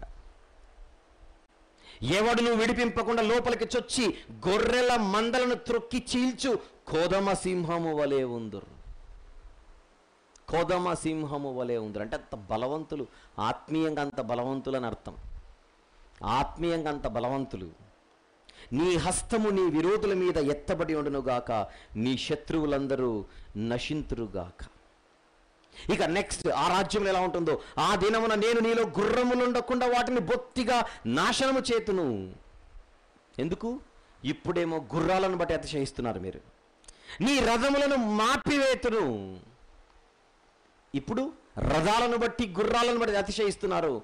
కానీ ఆ సామ్రాజ్యంలో గుర్రాలను బట్టి రథాలను బట్టి ఎవరు అతిశయించరు. నీ దేశమందున్న పట్టణములను నాశనము చేతును నీ కోటలను పడగొట్టుదును నీలో చిల్లంగి వారు లేకుండా నిర్మూలము చేతును మేఘములను చూచి మంత్రించువారు ఇక నీలో ఉండరు. నీ చేతి పనికి నీవు మ్రొక్కకుండానట్లు చెక్కిన విగ్రహములను దేవతా స్తంభములను నీ మధ్య ఉండకుండా నాశనము చేతును భౌతిక రాజ్యంలో వీటిని బట్టి అతిశయిస్తారు. కానీ రాబోయే ఆత్మీయ రాజ్యంలో ఇవేవి ఉండవు. అడుగుతున్నాను ఈరోజు మనందరము క్రీస్తు సామ్రాజ్యంలో ఉన్నవారం క్రీస్తు సామ్రాజ్యంలో ఉన్న మనకు గుర్రాలను బట్టి రథాలను బట్టి లేకపోతే ఆస్తిపాస్తులను బట్టి వెనకలు ఇంకొకటి ఏదో ఉందని ఎవరైనా ఇక్కడ కాలరెగరేసే వాళ్ళు ఉన్నారా? మనం ఎవ్వరం ఆ జాతి వారం కాదు. మన అతిశయమంతా ఒకటే. అతిశయించువాడు ప్రభువునందు అతిశయించడం. అలాంటి అతిశయం లేదు మనకు. అలాంటి రారాజు దాసులమని అలాంటి రారాజు గారి రాజ్యంలో మనందరము కూడా సేవకులమని సభ్యులమని సైనికులమని ఎంత అతిశయం మనకు? భూములను బట్టి ఇండ్లను బట్టి ఉద్యోగాలను బట్టి జీతాలను బట్టి హోదాలను బట్టి పలుకుబడిని బట్టి పదవులను బట్టి ఇక్కడ అతిశయించేవారు ఎవ్వరూ ఉండరు. మనదంతా ఒకే సంఘం సార్వత్రిక సంఘం. ఈ సంఘానికి శిరస్సు ఆయనే అని మహిమ ఘనత ప్రభావములు ఆయనకే మనం ఆరోపిస్తూ మనం ముందుకెళ్తుంటాం. ఇదే మన అతిశయం. ఈరోజు యూదా దేశంలో ఏవైతే ఉన్నాయో అవన్నీ ఎగిరిపోతాయంట అని- అని చెప్తున్నాడు ఇక్కడ ప్రవక్త. అర్థం చేసుకోవాలి. నీ మధ్య దేవతా స్తంభములు ఉండకుండా వాటిని పెళ్ళగింతును పద్నాలుగో వచ్చినాం నీ పట్టణములను పడగొట్టును ఈ పట్టణాలను చూసే కదా ఈరోజు గర్విస్తోంది. ఏవైతే పెట్టుకొని నువ్వు ఈరోజు అపవిత్రుడిగా మారిపోయావో వాటన్నిటిని తీసేస్తాను. నిన్ను కడుగుతాను. నిన్ను శుద్ధి చేస్తాను. నీలో ఒక కొత్త వ్యక్తి కనిపించేలా నేను నిన్ను మార్చేదను. అది పాయింట్ ఇక్కడ. ప్రభులోనికి రాకముందు ఇక్కడ కొందరు లేదా అందరూ దేని దేనికో కాలర్లు ఎగిరేసేవాళ్ళం. అందాన్ని బట్టో బలాన్ని బట్టో డబ్బును బట్టో పలుకుబడిని బట్టో ఏంటో మన గర్వం. ఈరోజు అన్ని ఎగిరిపోయాయి చూడండి. అన్ని పక్కన పెట్టి సమాధి చేసి ఇప్పుడు ఏమంటున్నాం దేవుని సన్నిధికి వచ్చి దేవా మేము నిష్ప్రయోజకులమైన దాసులం మాత్రమే. ఇది తప్ప ఇంకొక మాట రావట్లే మన దగ్గర. ప్రవక్త ద్వారా చెప్పించాడు భావి రాజ్యంలో భవిష్యత్తులో ఈ సామ్రాజ్యంలో ప్రజల పరిస్థితి ఇలా ఉంటుందని ఈరోజు కళ్ళ ముందు మన రూపంలోనే కనపడుతోంది. మనందరం ఎవరు కాదు? దేవుని ఇస్రాయేల్. పదిహేనవ వచనం. నేను అత్యాగ్రహము తెచ్చుకొని నా మాట ఆలకించని జనములకు ప్రతీకారము చేత ఇదే ఏహోవ వాక్కు. మీకు ఏమర్థమవుతుంది తింటుంటే మీరు వెళ్ళి చెప్పండి. నమ్మి బాప్తిస్వం పొందినవాడు రక్షింపబడును నమ్మని వానికి శిక్ష. నా మాట ఉంది చూడండి ఆలకించని జనములకు నమ్మకపోతే ప్రతీకారం నమ్మకపోతే శిక్ష అత్యాగ్రహము తెచ్చుకొని నా మాట ఆలకించని జనములకు ప్రతీకారము చేతును. రాసుకోండి జనరల్గా ద్వితీయోపదేశకాండ ముప్పై రెండు నలభై మూడవ ద్వితీయోపదేశ కాండ ముప్పై రెండవ అధ్యాయం నలభై మూడవ వచనం యషియా గ్రంథం ముప్పై ఐదవ అధ్యాయం నాలుగవ వచనం. ఈ వచనాలలో దేవుడు ప్రతిదండన ప్రతీకారం చేస్తానన్నాడు. కానీ ఇప్పుడు మనకు అవసరమైంది మాత్రం తెసలోనిక రెండవ పత్రిక మొదటి అధ్యాయం. ఇది అవసరం అందుకే చదువుదాం. తెసలోనికైలకు రాసిన రెండవ పత్రిక మొదటి అధ్యాయం ఎనిమిదవ వచనంలో ఒక మాట ఉంటుంది. ఆరు ఆరు ఎనిమిది కలిసి ఉంటాయి. ప్రభు అయిన యేసు తన ప్రభావం కనపరచు దూతలతో కూడా పరలోకం నుండి అగ్నిజ్వాలలలో ప్రత్యక్షమై దేవుని ఎరుగని వారికి మన ప్రభు అయిన యేసుక్రీస్తు సువార్తకు లేదా మన ప్రభు అయిన యేసు సువార్తకు లోబడని వారికి ప్రతిదండన చేయును. సువార్తకు లోబడకపోవడం అంటే ఆయన మాటలు వినకపోవడం. ఆయన మాటలు ఆలకించకపోతే ఏం చేస్తానన్నాడు ఫ్యూచర్లో? ప్రతీకారం ప్రతిదండన. అది మీకా గ్రంథంలోని ఐదవ అధ్యాయంలో చివరి మాట. నేను అత్యాగ్రహము తెచ్చుకొని నా మాట ఆలకించని జనములకు ప్రతీకారము చేతు ఇదే యహోవాక్. ప్రియ సహోదరుడా సహోదరి ఆరు రోజులుగా నువ్వు వాక్యం వింటున్నావు.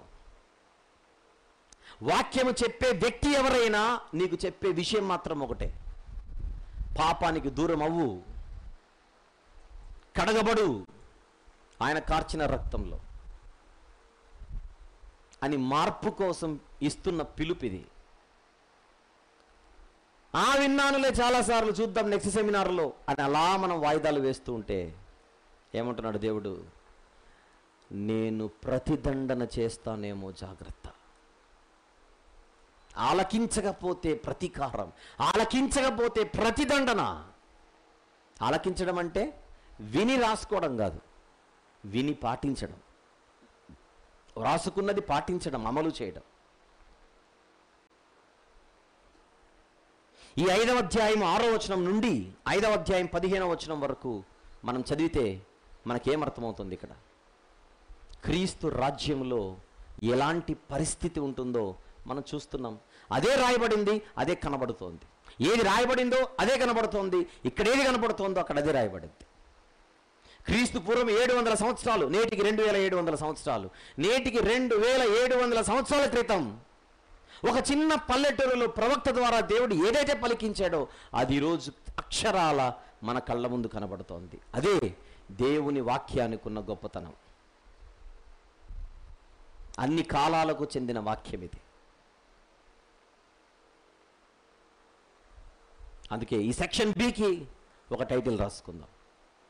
క్రీస్తు రాజ్యములో లేదా క్రీస్తు సామ్రాజ్యపు వాతావరణం అని రాయండి క్రీస్తు సామ్రాజ్యపు వాతావరణం. ఎలా ఉంటుంది? ఇదిగో ఇలా ఉంటుంది. ఇలా ఉంటుంది. అందులో ఉన్నవారు బలవంతులు అందులో ఉన్నవారు సింహపు బలము కలిగిన వారు. భౌతికంగా కాదు ఆత్మీయంగా. సింహముల వంటి వారు. గుర్రాలను బట్టి రథాలను బట్టి దేన్ని బట్టి అతిశయించేవారు కాదు.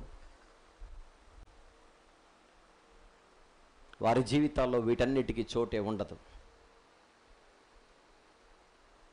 కానీ అదే సామ్రాజ్యంలో ఉన్నాం అనుకుంటూ ఆయన మాటలు ఆలకించకుండా ఆలకిస్తున్నట్టుగా నటిస్తూ లేకపోతే ఆలకిస్తున్నట్టుగా ఉంటూ స్పందించకపోతే చెబుతున్న మాట ప్రతీకారము తప్పదు. మీరు వెళ్ళి సువార్త ప్రకటించుడి. నమ్మినవాడు రక్షింపబడును నమ్మని వానికి శిక్ష తప్పదు. ఇది నాలుగవ సందేశం. మొత్తం ఆరు. ఆరులో నాలుగు. నాలుగులో రెండు తీర్పులు రెండు విడుదలలు. అంటే తీర్పుకు సంబంధించిన రెండు దేవోక్తులు అయిపోయాయి విడుదలకు సంబంధించిన రెండు దేవోక్తులు అయిపోయాయి. ఇక మిగిలిందేంటి? ఒక తీర్పు ఒక విడుదల. ఆరవ అధ్యాయం. స్టార్ట్ చేద్దాం.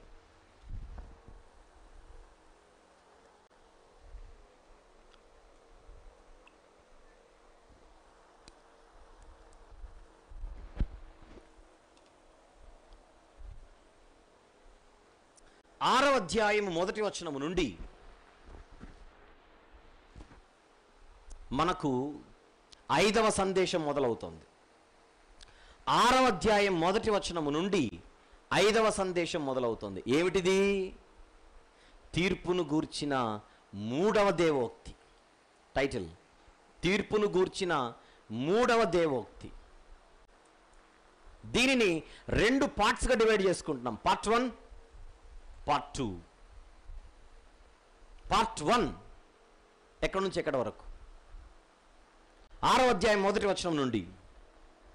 ఆరో అధ్యాయం పదహారో వచనం వరకు. ఆరో అధ్యాయం మొదటి వచనం నుండి ఆరో అధ్యాయం పదహారో వచనం వరకు అంటే మొత్తం అధ్యాయం. ఇందులో రెండు sections section A section B section A మొదటి వచనం నుంచి ఎనిమిదో వచనం వరకు మొదటి వచనం నుండి ఎనిమిదో వచనం వరకు సెక్షన్ బి తొమ్మిదో వచనం నుంచి పదహారో వచనం వరకు ఆటోమేటిక్గా క్లియర్ కదా పిక్చర్ లెట్స్ బిగిన్ ఆరో వచనం. యహోవా సెలవిచ్చు మాట ఆలకించుడి. ఎన్ని భాగాలు అన్నాను మొత్తం? భాగాలు. మొత్తం గ్రంథంలో ఎన్ని భాగాలు అన్నాను మూడు భాగాలు. ఒక్కొక్క భాగంలో రెండు రెండు సందేశాలు. ఒక్కొక్క భాగంలో రెండు రెండు సందేశాలు. మొదటి భాగంలో రెండు సందేశాలు రెండో భాగంలో రెండు సందేశాలు మూడో భాగంలో రెండు సందేశాలు. రెండు మూడు ఆరు లేదా మూడు రెండు ఆరు. ఎట్లా తిప్పినా అంతే. విషయం ఏంటంటే ప్రతి భాగం ఆలకించుడి అనే పదంతో స్టార్ట్ అవుతుంది. చూడండి ఒకసారి ఇంట్రెస్టింగ్గా మొదటి అధ్యాయం రెండో వచనం. మొదటి అధ్యాయం రెండో వచనం. సకల జనులారా ఆలకించుడి. అది మొదటి భాగం. రెండో భాగం మూడవ అధ్యాయము. మూడవ అధ్యాయం మొదటి వచనం. నేను ఇలాగూ ప్రకటించి తిని యాకోబు సంతతి యొక్క ప్రధానులారా ఇస్రాయేలీల అధిపతులారా ఆలకించుడి. అది రెండో భాగం మొదలు. ఇప్పుడు మూడో భాగం మొదలు ఆరవ అధ్యాయం మొదటి వచనం. ఎహోవా సెలవిచ్చు మాట ఆలకించుడి. ఎహోవా సెలవిచ్చు మాట ఆలకించుడి. అంటే గ్రంథాన్ని మనము అదే పనిగా నేను డివైడ్ చేయిస్తున్నాను ఇక్కడ. అదే పనిగా విడగొట్టి మాట్లాడుతున్నాను ఇక్కడ.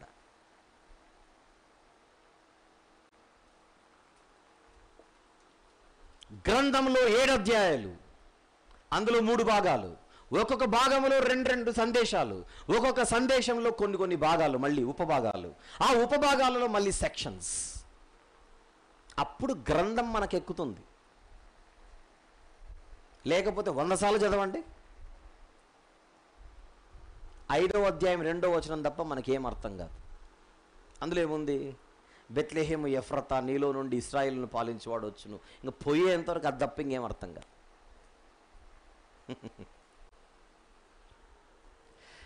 స్టార్ట్ చేద్దాం.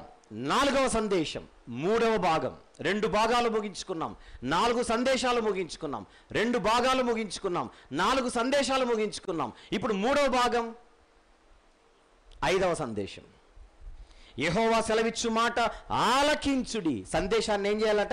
ఆలకించాలి ఆలకించాలి. ఏ సందేశం ఇది? తీర్పును గుర్చిన సందేశం. ఎన్ని సెక్షన్స్ ఇవి? రెండు సెక్షన్లు క్షమించండి రెండు భాగాలు. మొదటి భాగం ఆరవ అధ్యాయం మొత్తం. అందులో పదహారు వచనాలు. ఈ పదహారు వచనాలలో మొదటి సెక్షన్ని మనం మాట్లాడుకుంటున్నాం. Section A. ఏమిటది? నీవు వచ్చి పర్వతములను సాక్ష్యము పెట్టి వ్యాజ్యమాడము. కొండలకు నీ స్వరము వినబడనిమ్ము.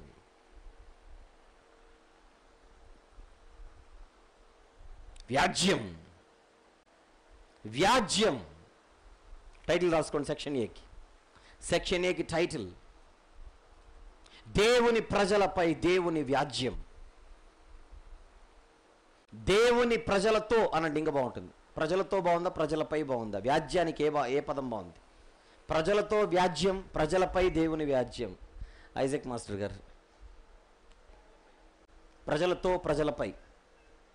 ప్రజలపై పైకే ఓటు. రాసేయండి. దేవుని ప్రజలపై దేవుని వ్యాజ్యం. బ్రాకెట్లతో అని కూడా రాసుకోండి. ఇంకేముంది? అది కూడా రాసుకోండి.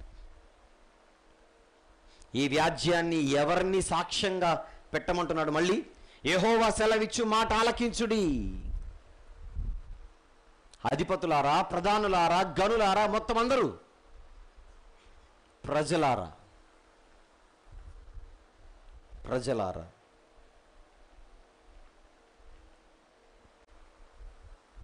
వ్యాజ్యం.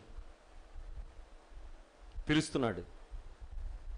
ప్రజలను పిలుస్తున్నాడు నాయకులను పిలుస్తున్నాడు అధికారులను పిలుస్తున్నాడు అధిపతులను పిలుస్తున్నాడు. మీతో నాకు వ్యాజ్యము కలదు.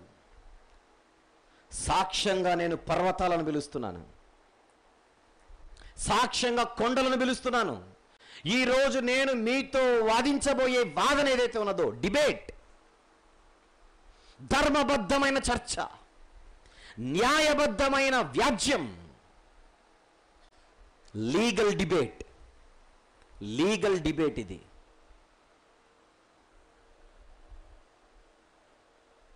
ఎవరంట సాక్ష్యం మళ్ళీ? పర్వతాలు కొండలు. చెప్పాను కదా మొన్న? అవి రెడీగా ఉంటాయి. ఈ సృష్టి ఎప్పుడు రెడీగా ఉంటుంది? స్టాండ్ పెట్టాము ప్రభువా. కెమెరా కూడా రెడీ ప్రభువా. ఆన్ చేసాం ప్రభువా. మీరు ప్రారంభించవచ్చు ప్రభువా. అంటుంది సృష్టి. Recording ready. తన జనుల మీద యెహోవాకు వ్యాజ్యము కలదు. ఆయన ఇస్రాయేలీల మీద వ్యాజ్యమాడుచున్నాడు. వ్యాజ్యమాడుచున్నాడు. చూద్దాం ఒక రెండు వచనాలు. యష్యా గారు కూడా అలాంటి మాట మాట్లాడుతున్నాడు ఏమో చూద్దాం. ఎందుకంటే మీకా గ్రంథం చదివేటప్పుడు యష్యా గారు ఏమంటున్నారో కూడా అప్పుడప్పుడు చూడాలి తప్పదు. మొదటి అధ్యాయం. యష్యా గ్రంథము మొదటి అధ్యాయం. పదునెనిమిదవ వచనం. పదునెనిమిదవ వచనం. యెహోవా ఈ మాట సెలవిచ్చుచున్నాడు. రండి. కమాన్ రండి. మన వివాదము తీర్చుకొందుము. మీకు నాకు వివాదము కలది ఇక్కడ. Run come.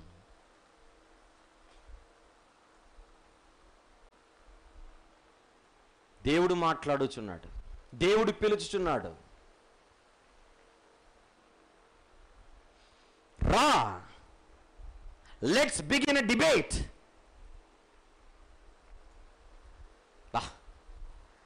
దేవుడు ఎంత హృదయ వేదనకు లోనైతే చర్చకు రమ్మని పిలుస్తున్నాడు చూడండి. చర్చా వేదిక నేను ఏర్పాటు చేస్తాను రా అంటున్నాడు దేవుడు.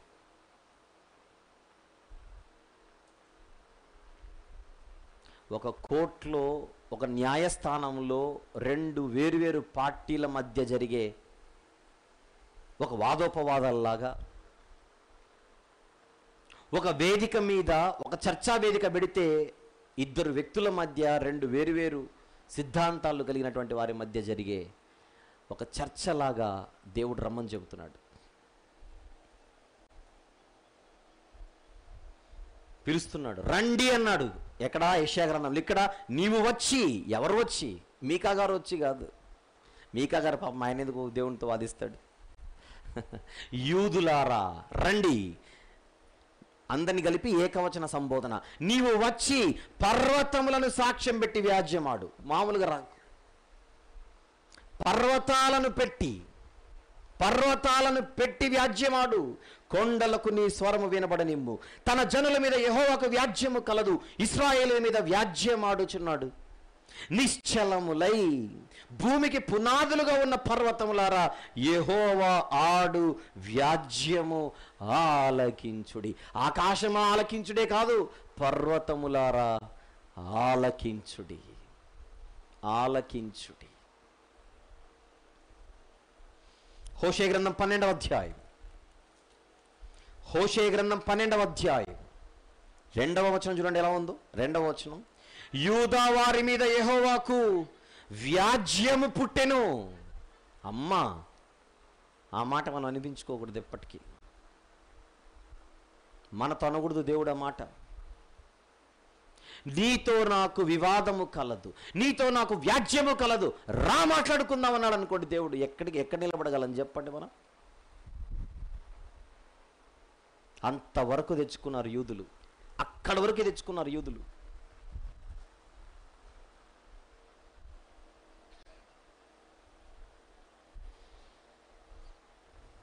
యాభైవ కీర్తన.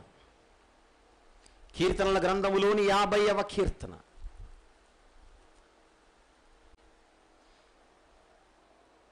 మొదటి వచనం. మొదటి వచనం నుంచి మీరు నాలుగో వచనం వరకు ఐదో వచనం వరకు రాసుకోండి. ఐదో వచనం వరకు రాసుకోండి. దేవాది దేవుడైన యహో ఆజ్ఞ ఇచ్చుచున్నాడు. తూర్పు దిక్కు మొదలుకొని పడమటి దిక్కు వరకు భూనివాసులను రమ్మని ఆయన పిలుచుచున్నాడు. రండి. మూడో వచనం మన దేవుడు వేంచేయుచున్నాడు. ఆయన మౌనముగా ఉండడు. ఆయన ముందర అగ్ని మండుచున్నది. నాలుగో వచనం నుంచి. కింద నా భక్తులను నా యొద్దకు సమకూర్చుడని మీది ఆకాశమును భూమిని పిలచుచున్నాడు.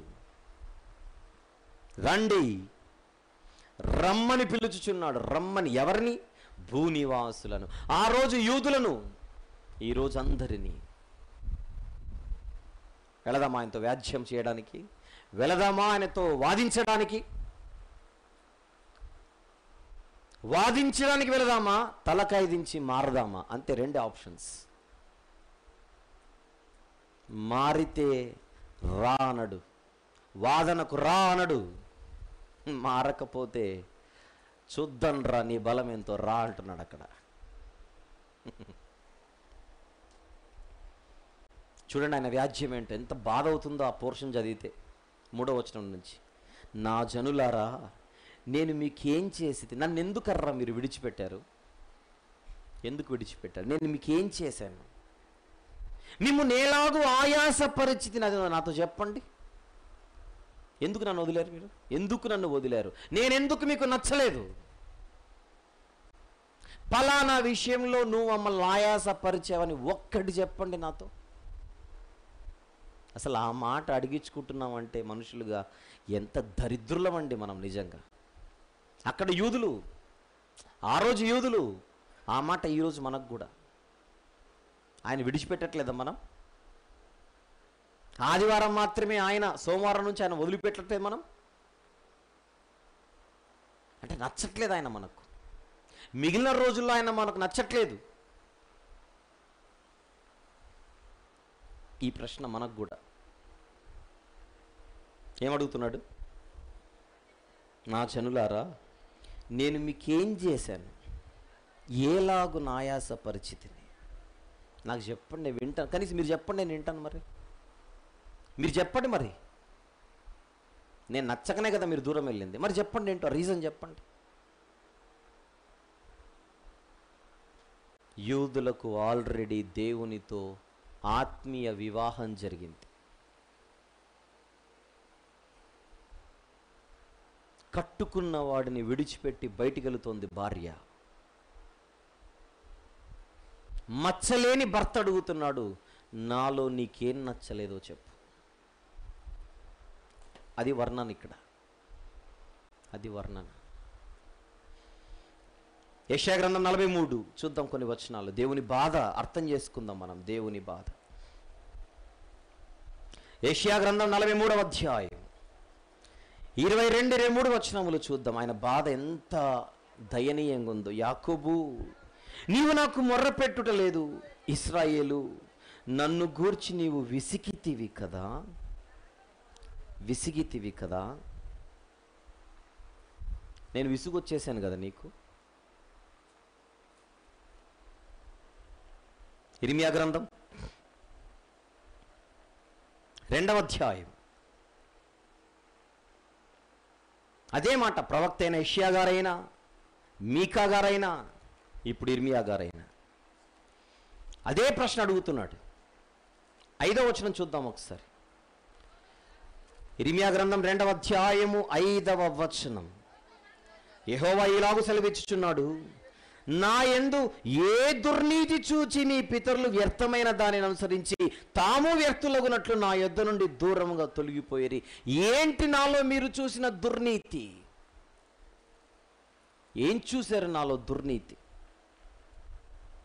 ఏంటి మీరు చూసింది? అదే రెండవ అధ్యాయం ఇర్మియా గ్రంథం.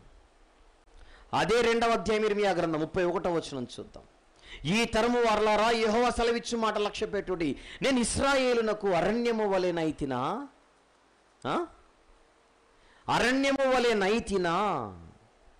గాఢాంధకార దేశము వలె నైతినా? మేము స్వేచ్ఛగా తిరుగులాడు వారమైతిమి. ఈ కను నీ యొద్దకు రామని నా ప్రజలు ఏలా చెప్పుచున్నారు? ఏం కావాలట వీళ్ళకి? స్వేచ్ఛ కావాలి. స్వతంత్రం కావాలి.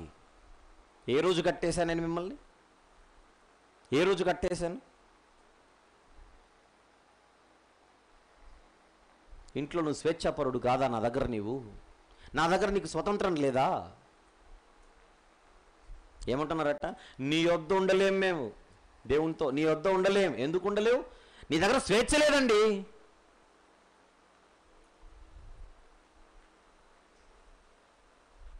అది చేయకూడదు ఇది చేయాలి అది చేయకూడదు ఇది చేయాలని చెబుతున్నావు. అంటే నీ ఆజ్ఞలు మాకు భారమైనవి. అని చెప్పగలరా మీరు?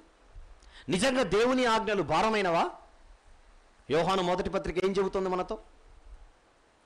ఐదవ అధ్యాయము. యోహాను యోహాను గారు రాసిన మొదటి పత్రిక ఐదవ అధ్యాయం. ఆయన ఆజ్ఞలు భారమైనవి కావు అన్నమాట చూడండి.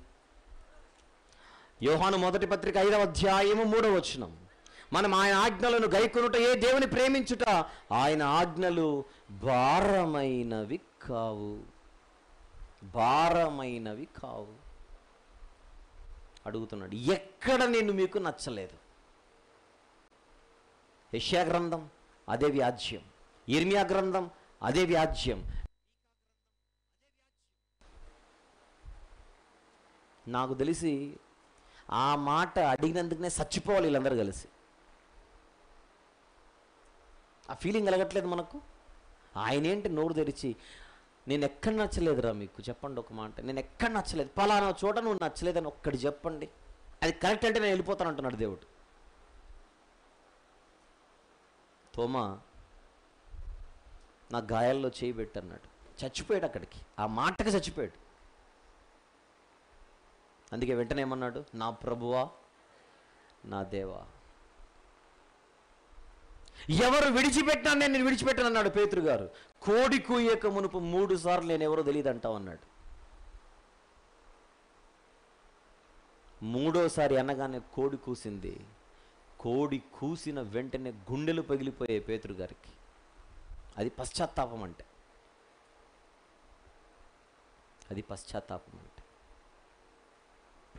ఈరోజు ఇదే పరిస్థితి మన ముందు కనబడుతుంది. ఒకవేళ దేవుణ్ణి విడిచిపెట్టామేమో మనం. దేవుడు వద్దనుకుంటున్నామేమో. దేవుడు కాదనుకుంటున్నామేమో. అలాగైతే మీ ముందు కూడా అదే ప్రశ్న దేవుడు అడుగుతున్నాడు. నేను నీకు ఎక్కడ నచ్చలేదు? నిన్ను నేను ఏ విషయంలో బాధ పెట్టాను? ఉందా మీ దగ్గర జవాబు ఇది? ఉందా? ఇంకేం అడుగుతున్నాడో చూద్దాం. మీకు అగ్రంథం ఆరవధ్యాయం మూడవ వచనం చదువుకుంటూ వెళ్దాం మళ్ళీ కిందికి. నా జనులారా నేను మీకేమి చేసి తిని మిమ్మల్ని ఎలాగో ఆయాస పరిచితిని అది నాతో చెప్పుడి. ఐగుప్తు దేశంలో నుండి నేను మిమ్మల్ని రప్పించి తిని నేను కదా మిమ్మల్ని రప్పించింది. ద్వితోపదేశకాండం ఇవన్నీ చదివితే మనకు అదే కనపడుతుంది పంచకాండాలు ఐగుప్తు దేశములో నుండి నేను మిమ్మల్ని రప్పించి తిని దాసగృహములో నుండి మిమ్మల్ని విమోచించి తిని మిమ్మల్ని నడిపించుటకై మోషే ఆహరోను మిర్యాములను పంపించి తిని. ఇవన్నీ నేను కాదా చేసింది? నేను కాదా చేసింది చెప్పండి అని అడుగుతున్నాడు. వ్యాజ్యం.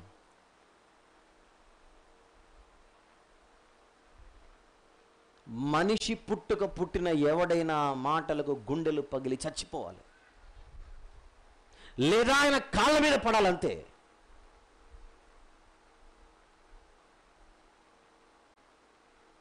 అది అడగాల దేవుడు? అది అడగాల దేవుడు? స్వేచ్ఛ లేదట స్వతంత్రం లేదట అందుకే వెళ్ళిపోయారట. తప్పిపోయిన కొడుకు కూడా అలానే చేశాడు. నాన్న నీ దగ్గర స్వతంత్రం లేదు వెళ్ళిపోతానన్నాడు. పోయిన తర్వాత తెలిసింది నాన్నేంటో?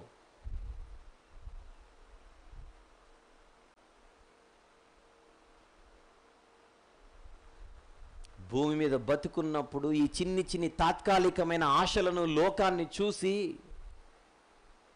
అవన్నీ వద్దు నాన్న అని చెబుతాడు దేవుడు. ఆ దేవుడు చెప్పిన మాటలే తల్లిదండ్రులు చెబుతారు పిల్లలకి. లేదా కనీసం సంఘాల్లో మందిరాలలో సేవకులు చెబుతారు ఇలా ఉండాలి ఇలా ఉండకూడదు ఇలా ఉంటే నీకు మంచిది ఇలా ఉండకపోతే నీకు ఖచ్చితంగా ప్రమాదం అని చెబితే నేను ఆ అంకుల్ దగ్గరికి వెళ్ళను ఎప్పుడు నన్ను అలా ఉండమంటాడు ఇలా ఉండొద్దు అంటాడు అని ఒకడు మా డాడీ అండి ఇరవై నాలుగు గంటలు తల తింటాడండి నన్ను. అని ఇంకొకడు ఏ నచ్చట్లేదా మాటలు? నీ మంచి కోసం చెబుతున్న మాటలు నీకు భారంగా కనబడుతున్నాయా? దేవుడు దిగొచ్చి చెప్పడు నీతో తన దాసుల ద్వారా తన సేవకుల ద్వారా కొన్ని సందర్భాలలో తల్లిదండ్రుల ద్వారా. అవి నీకు ఆరోగ్య ఔషధ మూలికలవి.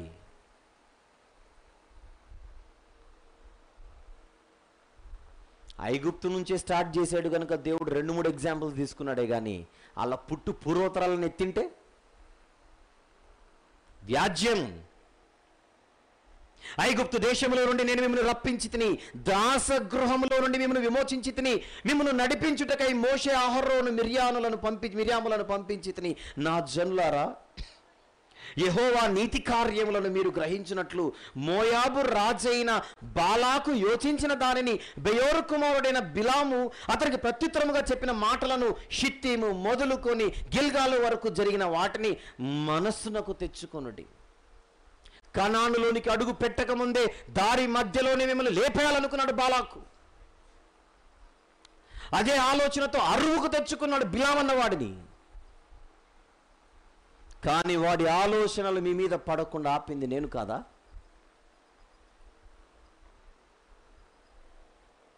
షితీము మొదలుకొని గిల్గాలు వరకు. బిలాము గురించి తెలియాలంటే సంఖ్యాకాండం ఇరవై రెండు నుంచి ఇరవై రెండు ఇరవై మూడు ఇరవై నాలుగు అధ్యాయాలు చదువుకోండి తర్వాత. సంఖ్యాకాండం ఇరవై రెండు ఇరవై మూడు ఇరవై నాలుగు అధ్యాయాలు చదువుకోండి. ఐగుప్తు నుంచి దేవుడు పిలుచుకొని వచ్చి- బయటికి తీసుకొని వచ్చాడని తెలియాలంటే ద్వితీయోపదేశకాండం నాలుగవ అధ్యాయం ఇరవై వచ్చిన రెఫరెన్స్ రాసుకోండి. ద్వితీయోపదేశకాండం నాలుగవ అధ్యాయం ఇరవై వచనం. కానీ ఇక్కడ షిత్తీం ఎందుకు వచ్చింది గిల్గాల్ ఎందుకు వచ్చింది అనే డౌట్స్ రాకుండా ఉండడానికి వాటికి సంబంధించిన వచనాలు మాత్రం చూద్దాం. యహోశ్వ గ్రంథం మూడవ అధ్యాయం. యహోశ్వ గ్రంథము మూడవ అధ్యాయం మొదటి వచనము చూద్దాం ఒక్కసారి. మొదటి వచనం. యహోశ్వ వేకువన లేచినప్పుడు అతడును ఇస్రాయేలీలందరూ షితీము నుండి బయలుదేరి యోర్ధానుకు వచ్చి దానిని దాటకమును అక్కడ నిలిచిరి. అంటే వాళ్ళ ప్రయాణం షిత్తీము నుండి స్టార్ట్ అయింది. ఎగ్జాంపుల్గా అక్కడ నుంచి తీసుకుంటున్నాడు దేవుడు. ఎక్కడ వరకట? గిల్గాలు వరకు. గిల్గాల గురించి ఎక్కడుంది? యహోశివ గ్రంథం నాలుగవ అధ్యాయం. పంతొమ్మిదవ వచనం చూద్దాం. యహోశివ గ్రంథం నాలుగు పంతొమ్మిది. మొదటి నెల పదవ తేదీని జనులు యోర్ధానులో నుండి ఎక్కి వచ్చి ఎరుకో తూర్పు ప్రాంతమందలి గిల్గాల్లో దిగిరి. షిత్తీము నుండి బయలుదేరి గిల్గాలులో దిగిరి. అది చెబుతున్నాడు దేవుడు ఇక్కడ. అది చెబుతున్నాడు. షిత్తేము మొదలుకొని గిల్గాలు వరకు మధ్యలో జరిగిన వాటిని ఒక్కసారి మనస్సుకు తెచ్చుకొనటి. ఫలానా విషయములో ఫలానా చోట ఫలానా కాలంలో నువ్వు మాకు అన్యాయం చేసావని ఒక్కటి చెప్పండి అంటున్నాడు దేవుడు. ఏమిటిది? దేవుని ప్రజలతో దేవుని వ్యాజ్యం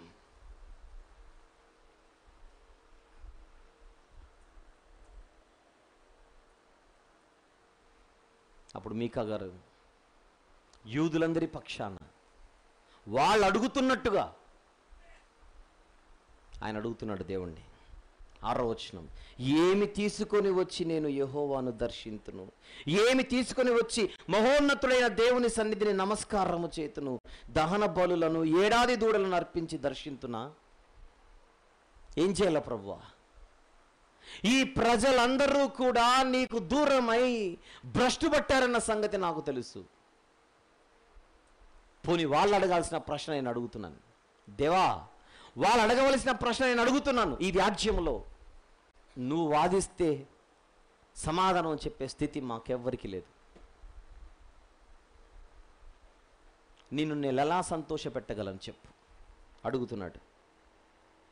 దహన బలులను ఏడాది దూడలను అర్పించి దర్శించున్నా వేల కొలది పొట్టేళ్ళును వేలాది నదులంత విస్తారమైన తైలమును ఆయనకు సంతోషము కలుగుజేయునా?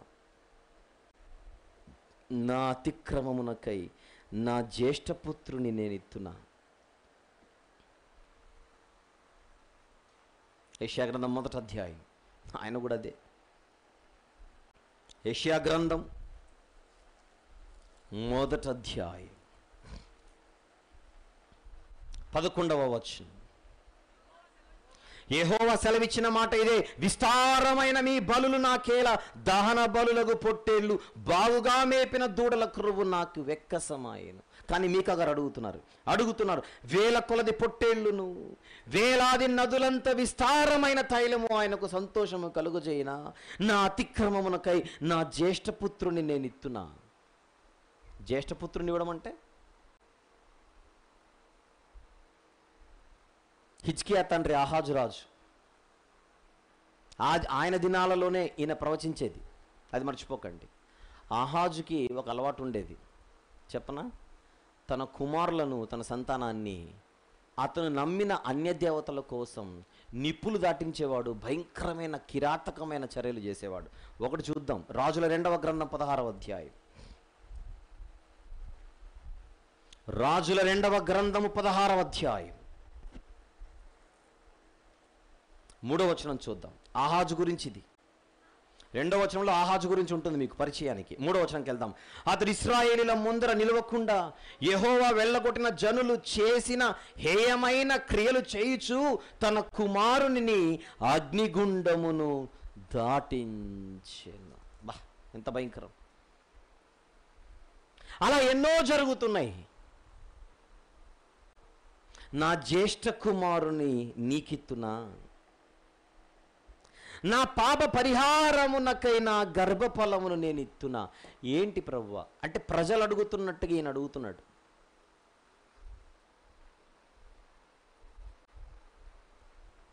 నీతో వాదించే స్థితి మాకెవ్వరికీ లేదు. పోనీ వాళ్ళకు బదులుగా నేను అడుగుతున్నాను.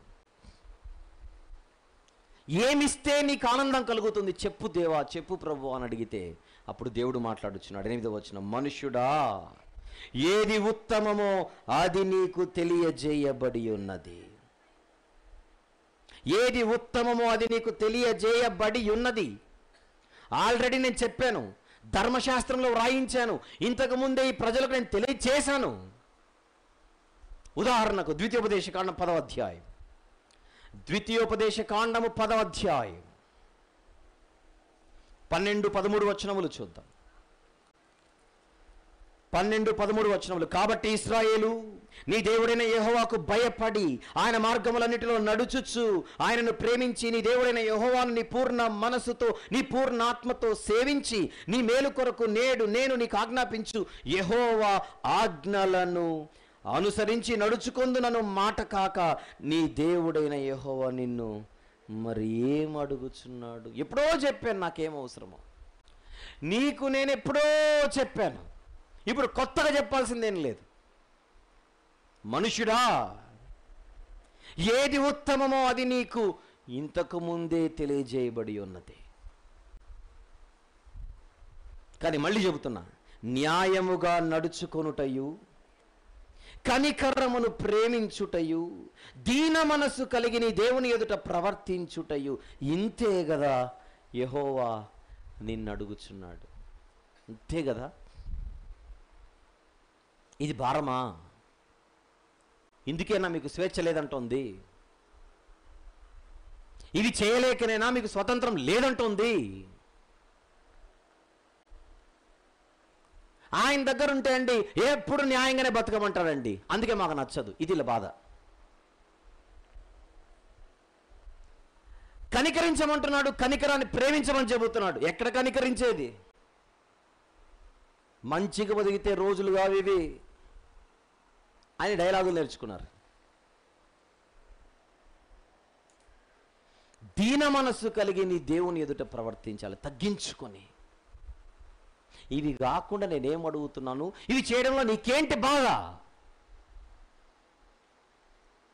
ఎనీ ఆన్సర్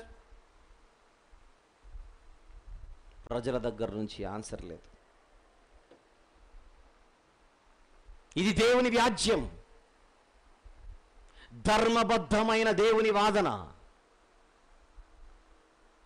ఎవ్వడు కూడా దేవుడు తప్పుగా మాట్లాడుతున్నాడని అనడానికి వీలు లేనంతగా ఆయన తెచ్చిన వ్యాజ్యం ఇది.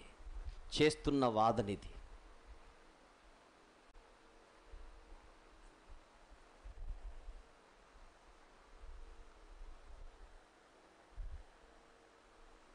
అయిపోయింది వ్యాజ్యం. మనుషుల దగ్గర ఆన్సర్ లేదు. అవతలోడు ఆన్సర్ కరెక్ట్గా ఇస్తే దేవుడు ఏమైనా చూసేవాడు? అయినా దేవుడు ప్రశ్నిస్తే ఆన్సర్ చెప్పే సత్తా ఎవడుకుంటుంది? దేవుడు ఎప్పుడు ప్రశ్న లేయకూడదు శబాష్ అనే అనాలి. అది అనకుండా క్వశ్చన్ వేశారంటే ఇంక కేసు ఎగిరినట్టే. తినవద్దని నేను చెప్పిన పండు తింటివా?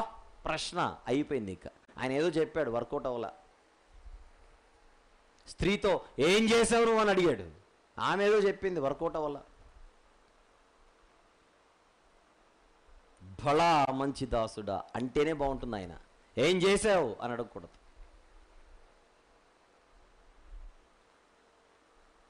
ఎంత బాగుంది కదా మాట. న్యాయంగా బతకండి. కనికరాన్ని ప్రేమించండి. దీన మనస్సు కలిగి దేవుని ఎదుట ప్రవర్తించండి. బహుశా ఈ విషయాలు మనం తప్పిపోతున్నామేమో. మనం చేసే వ్యాపారాలు మనం చేసే పనులు మనం చేసే కార్యాలు ఇక్కడ న్యాయం కనబడట్లేదేమో. ప్రశ్నించుకోండి మీరే. ఈరోజు మీరు ఏ కార్యాలలో అయితే ఉన్నారో ఏ పనులలో అయితే ఉన్నారో ఏ వృత్తులలో అయితే ఉన్నారో కేవలం బైబిల్ పట్టుకొని వచ్చి ఇక్కడ కూర్చొని నాలుగు మాటలు నేర్చుకొని వెళ్ళిపోవడమే కాదు. బయటికి వెళ్ళిన తర్వాత మన బ్రతుకులో న్యాయం కనబడాలి. కనికరం కనబడాలి. దీనులుగా దేవుని ఎదుట ప్రవర్తించే బతుకుండాలి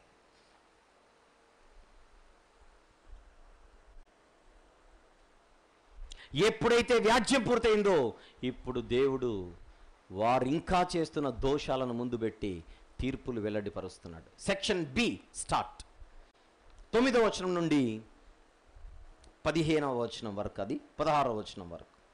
తొమ్మిదవ వచనం నుండి పదహారవ వచనం వరకు సెక్షన్ బి ప్రజల దోషం దేవుని తీర్పు. ప్రజల దోషాలు దేవుని తీర్పు. అండ్రాయింటి టైటిల్. వాళ్ళు చేసే మరిన్ని వాళ్ళు చేసే భయంకరమైన అన్యాయమైన కార్యాల గురించి మాట్లాడుతున్నాడు చూద్దాం. తొమ్మిది ఆలకించుడి. యహోవా పట్టణమునకు ప్రకటన చేయుచున్నాడు. జ్ఞానము గలవాడు నీ నామమును లక్ష్య పెట్టును. జ్ఞానముంటే లక్ష్య పెడతాడు ఇప్పటికైనా. ఇంతవరకు వచ్చిన తర్వాత బుద్ధుంటే ఎవడైనా వింటాడు? అంటున్నాడు. ఏంటిది అదే వార్త? శిక్షను గూర్చిన వార్త. శిక్షను నిర్ణయించిన వాణిని గూర్చిన వార్త ఆలకించుడి. ఏ ఎన్ని వార్తలు చెబుతున్నాడు మీకా గారు ఇక్కడ ప్రజలకి? రెండు ఒకటి. శిక్షను గూర్చిన వార్త రెండు. ఆ శిక్షను నిర్ణయించిన వాణిని గూర్చిన వాని వార్త. నిర్ణయించిన వాణిని గూర్చిన వార్త. ఏంటది? పదవచనం. అన్యాయము చేయు వారి ఇండ్లలో అన్యాయము చేత సంపాదించిన సొత్తులును ఇండ్ల ఇండ్లు చూస్తున్నాడట దేవుడు. చూడండి ఇక్కడ. ఇండ్లు చూస్తున్నాడు. ఆకాశమందు ఆసీనుడైన వాడు మన కొంపలపై కూడా కన్నేశాడు. Note this point your honour ఏమున్నాయి నీ ఇంట్లో? అడుగుతున్నాడు దేవుడు. ఏమున్నాయి ప్రభువా? అని అడిగితే అన్యాయము చేత సంపాదించిన సొత్తులు నీ ఇంట్లో ఉన్నాయి. చిన్నదిగా చేయబడిన హేయమైన కొలయు ఉన్నది. చిన్నదిగా చేయబడిన కొలత బ్యాలెన్స్ తక్కెడ. వ్యాపారం. వ్యాపారస్తులు వ్యాపారాలలో మోసాలు చేస్తున్నారట.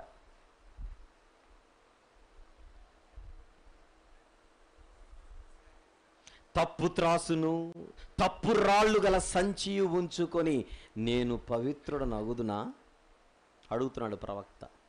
నేను అంటే ఈయన పెట్టుకోలేదు. తనను కలుపుకొని మాట్లాడుతున్నాడు. నువ్వు పవిత్రుడు అవుతావా అంటే బాగోదని కొన్ని సందర్భాల్లో నేను అని గలుపుకున్నాడు. తప్పు త్రాసు తప్పు రాళ్ళు గల సంచి. బైబిల్లో చాలా చోట్ల రాయబడి ఉంటుంది తప్పుడు త్రాసు దేవునికి హేయమని. రాసుకోండి. సామెతల గ్రంథం పదకొండు ఒకటి. సామెతల గ్రంథం పదకొండు ఒకటి. అదే సామెతల గ్రంథం ఇరవై అధ్యాయం ఇరవై మూడో వచనం. అదే సామెతల గ్రంథం ఇరవై అధ్యాయం ఇరవై మూడవ వచనం హోషే గ్రంథం పన్నెండవ అధ్యాయం ఏడవ వచనం. హోషే గ్రంథం పన్నెండవ అధ్యాయం ఏడవ వచనం ఆమోసు గ్రంథం ఎనిమిదవ అధ్యాయం ఐదవ వచనం. ఆమోసు గ్రంథం ఎనిమిదవ అధ్యాయం ఐదవ వచనం. తప్పుడు త్రాస్ తప్పుడు లెక్కలు దేవునికి హేయములు.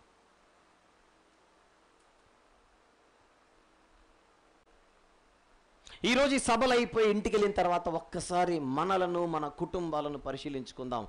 ఎక్కడైనా ఏదైనా ఎక్కడైనా ఏదైనా అన్యాయంగా మనము సంపాదించి ఒకరి సొమ్మును మనము తెచ్చుకొని ఇంట్లో పెట్టుకున్నామేమో ఎవరు చూడలేదనుకుంటున్నామేమో. ఇంటిని చూస్తున్న దేవుడు పైన ఉన్నాడు ఎంత ఉంటుంది ఆ వస్తువు విలువ? యాభైయా వంద ఐదు వందల వెయ్యి పదివేల లక్ష. లక్ష అనుకోండి కొద్దిసేపు. కేవలం ఆ వస్తువును బట్టి పరలోకం ఇచ్చే పరలోకం తీసేస్తాడు అంతే. నో ఎంట్రీ బోర్డు పెడతాడు మనకు. అప్పుడు దేవుని దగ్గర వచ్చి పది లక్షలు పెట్టండి. ప్రవ్వా లక్షకు పది పెడతాను పది లక్షలు. ఇవి ప్రవ్వా పరలోకం అంటే కోదర్రాత్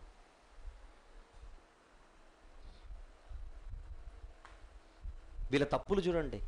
వ్యాపారస్తులు చేస్తున్న తప్పులు. అక్రమంగా సంపాదించి వస్తువులను కూడబెట్టుకొని సొత్తుని ఇంట్లో పెట్టుకున్నారట. వారిలోని ఐశ్వర్యవంతులు ఎడతెగక బలాత్కారము చేయుదురు. బలాత్కారము చేయుదురు. పట్టణస్థులు అబద్ధమాడుదురు. ఇవన్నీ చూడలేకపోతున్నాడు దేవుడు. మహాపరిశుద్ధుడైన దేవుడు ఈ అన్యాయాన్ని అపవిత్రతను భరించలేకపోతున్నాడు. అబద్ధం. అబద్ధం. నేను కొన్ని వచనాలు ఇస్తాను. ఖచ్చితంగా రాసుకొని ఖచ్చితంగా చదివి అసలు ఒక అబద్ధం ఆడాలన్నా మన ప్రాణం గిలగిల కొట్టుకోవాలి. గజగజలాడిపోవాలి. దేవుడు అబద్ధాన్ని అంతా సహించుకుంటాడా అని. కొన్ని వచనాలు ఇస్తాను రాసుకోండి. ఇర్మియా గ్రంథం అధ్యాయం. రెండు నుంచి తొమ్మిది వచనములు. రెండు నుంచి తొమ్మిది వచనములు. కీర్తనల గ్రంథములోని పన్నెండవ కీర్తన. కీర్తనల గ్రంథములోని పన్నెండవ కీర్తన రెండవ వచనం. అదే కీర్తనల గ్రంథంలో ముప్పై నాలుగవ కీర్తన. పదమూడవ వచనం. పదమూడవ వచనం. అరవై రెండవ కీర్తన నాలుగవ వచనం. అరవై రెండవ కీర్తన నాలుగవ వచనం. సామెతల గ్రంథం. ఆరవ అధ్యాయము పంతొమ్మిదవ వచనం. ఆరవ అధ్యాయము పంతొమ్మిదవ వచనం. అదే సామెతల గ్రంథం పంతొమ్మిదవ అధ్యాయం. అదే సామెతల గ్రంథం పంతొమ్మిదవ అధ్యాయం. ఇరవై రెండవ వచనం. ఇరవై రెండవ వచనం. యష్యా గ్రంథం ముప్పై రెండవ అధ్యాయం. యష్యా గ్రంథం ముప్పై రెండవ అధ్యాయం. ఏడవ వచనం. అదే యష్యా గ్రంథం యాభై తొమ్మిదవ అధ్యాయం. అదే యష్యా గ్రంథం యాభై తొమ్మిదవ అధ్యాయం. మూడవ వచనం. ఈ వచనాలన్నిటిలో మీరు అబద్ధాలు ఆడుతుంటే నేను సహించలేకపోతున్నానని చెబుతున్నాడు దేవుడు. అబద్ధాలు ఆడుతుంటే సహించలేకపోతున్నాను అంటున్నాడు దేవుడు. మన జీవితంలో మన దైనందిన జీవితంలో మనం ప్రతిరోజు ఆడే ఒక్కొక్క అబద్ధం ఆయన గుండెల్లో మనము బాణాలతో గుచ్చుతున్నట్టు అవుతుంటుంది ఆయనకి. కొంతమందికి అబద్ధాలు ఈజీగా వస్తుంటాయి. అవలీలకు వచ్చేస్తుంటాయి. నోరు తెరిస్తే అబద్ధాలు.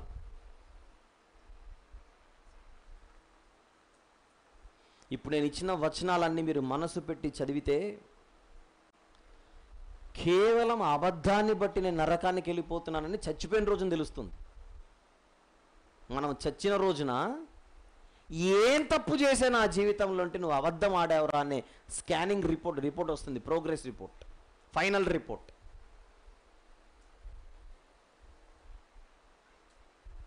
This is the problem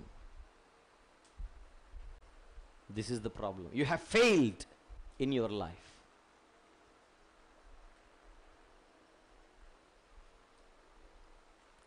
నేను ఆ సిచ్యువేషన్లో ఉంటే ఖచ్చితంగా అబద్ధం ఆడవలసి వస్తుంది అని నీకు అనిపిస్తే ఆ సిచ్యువేషన్కి దూరంగా ఉండు.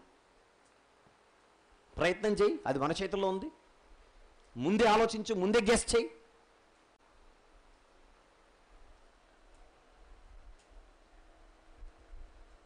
చూస్తున్నారా? పన్నెండవ వచనం. వారిలోని ఐశ్వర్యవంతులు ఎడతెగక బలాత్కారము చేయుదురు పట్టణస్థులు అబద్ధమాడుదురు వారి నోటిలోని నాలుక కపటముగా మాటలాడును కపటముగా. కాబట్టి అందుచేత దిస్ ఈజ్ ద రీజన్ ఎందుకు ఈ తీర్పు? ఎందుకు ఈ శిక్ష? అదే ప్రవక్త చెబుతున్నాడు శిక్షను గూర్చి ఈ శిక్షను నిర్ణయించిన వానిని గూర్చి వార్త. కాబట్టి నీవు బాగుపడకుండా నేను నీ పాపములను బట్టి నిన్ను పాడు చేసి మొత్తుదును. పాడు చేసి మొత్తుదును. నీవు ఏది విత్తుదువో అదే కోయుదు అదే బైబిల్ చెబుతోంది. నీవు విత్తినదే నువ్వు కోయుదు గలతి పత్రిక ఆరవ అధ్యాయము ఏడవ వచనం ఎనిమిదవ వచనం. తర్వాత చూడండి మీరు. నీవు విత్తినదే నీవు కోయుదు పాపము చేస్తే నేను మొత్తక తప్పదు. లేవియా కాండం ఇరవై ఆరవ అధ్యాయం. పదహారవ వచనం రాసుకోవాలి. ముందే చెప్పాడు ధర్మశాస్త్రంలో నువ్వు తప్పు చేస్తే నిన్ను విడిచిపెట్టనని చెప్పాడు దేవుడు. తప్పు చేస్తే విడిచిపెట్టను. అందుచేత నేను మొత్తితే ఎలా ఉంటుందో చెబుతున్నాడు. నీవు భోజనము చేసినను నీకు తృప్తి కానేరదు. నీవెప్పుడూ పస్తుగానే ఉండు. నీవేమైనా తీసుకొని పోయినను అది నీకుండదు. నీవు భద్రము చేసుకొని కొనిపోవు దానిని దోపుడుకు నేను అప్పగింతును. బాగా వినండి ఈ మాట చెప్తాను నేను. బాగా వినండి. మీరు ఎవరి దగ్గరైనా ఐదు రూపాయలు కాజేస్తే మీరు ఎవరి దగ్గరైనా మీది కానిది ఒక ఐదు రూపాయలు మీ దగ్గర ఉంటే ఇది నాది కాదు. అని నీకు తెలిసినది నీ దగ్గర ఉంచుకుంటే దానికి నువ్వు అనుభవించబోయేది ఏంటో చెప్పనా? ఐదుకు ఐదు వేలు కావచ్చు లేదా ఐదుకు ఐదు లక్షలు కావచ్చు. హమ్మయ్య ఐదు రూపాయలు నాకు దొరికింది ఇది కాదు.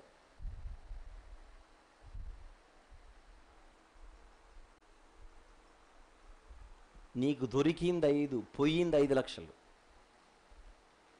కొన్ని సందర్భాల్లో మనము తెలియకుండానే డబ్బులు పోగొట్టుకుంటాం. తెలియ ఏదో డబ్బులో ఏదో పోగొట్టుకుంటూ ఉంటాం.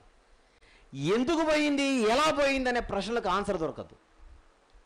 కానీ మీకా గ్రంథం చెబుతోంది ఎప్పుడో ఎక్కడో నీది కానిది పరాయి వాడిది నువ్వు ఒకరోజు నీ దగ్గర పెట్టుకున్నావు.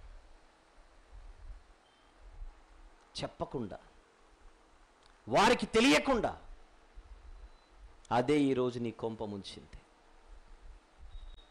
అదే ఈరోజు నీ కొంప ముంచింది. ఆ రోజుల్లో నువ్వు తెలియక పెట్టుకున్నావేమో. నీకు పాఠం నేర్పించడానికే దేవుడు దెబ్బతీశాడు ఇక మీదట ఎప్పుడు ఆ తప్పు చేయకూడదని. ఇక మీదట ఆ తప్పు నువ్వు ఎప్పుడూ చేయకూడదు. నువ్వే కాదు నీ ఇంటిలోని పిల్లలు కూడా తప్పు చేయకూడదని నువ్వు నేర్పించాలి. బడికి పంపించే పిల్లలకు చెప్పాలి నాయనా వాళ్ళ వాళ్ళది వాళ్ళది చెప్పండి వాళ్ళ స్టాండర్డ్లో చెప్పండి. నువ్వు పక్కోడి పెన్సిల్ బాంగ్స్ కొట్టేస్తే రేపు నీ బ్యాగ్తో సహా ఎగిరిపోతుంది జాగ్రత్త. ఆడికి అవే ఎగ్జాంపుల్స్ అర్థమవుతాయి ఇంకేది చెప్పిన అర్థం కాదు. ఈ బోధ పసితనము నుండే పిల్లలకు నేర్పించాలి. పసితనము నుండే పిల్లలకు నేర్పించాలి. అంటే ఎంత గొప్ప దేవుడు కదా దేవుడు? అస్సలు కాంప్రమైజ్ అవ్వట్లేదు. ఇవన్నీ చిన్న చిన్నగా కనపడతాయి. అబ్బాయి ఉందిలే ఏంటట? ఎవడి సొమ్ము నీ దగ్గరుంది గనుక తిన్నా నీకు పస్తు తప్పదు.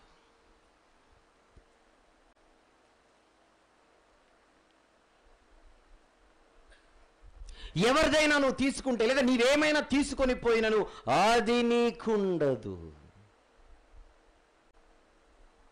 కొన్ని వచనాలు రాసుకున్న తర్వాత చెక్ చేసుకోండి. లేవ్యాకాండం ఇరవై ఆరో అధ్యాయము వచనం కూడా ఇరవై ఆరే. లేవ్యాకాండం ఇరవై ఆరో అధ్యాయం వచనం కూడా ఇరవై ఆరే. యష్యా గ్రంథం తొమ్మిదవ అధ్యాయం. యష్యా గ్రంథం తొమ్మిది ఇరవయవ వచనం. హోషే గ్రంథం నాలుగవ అధ్యాయము పదవ వచనం. హోషే గ్రంథం నాలుగవ అధ్యాయం పదవ వచనం.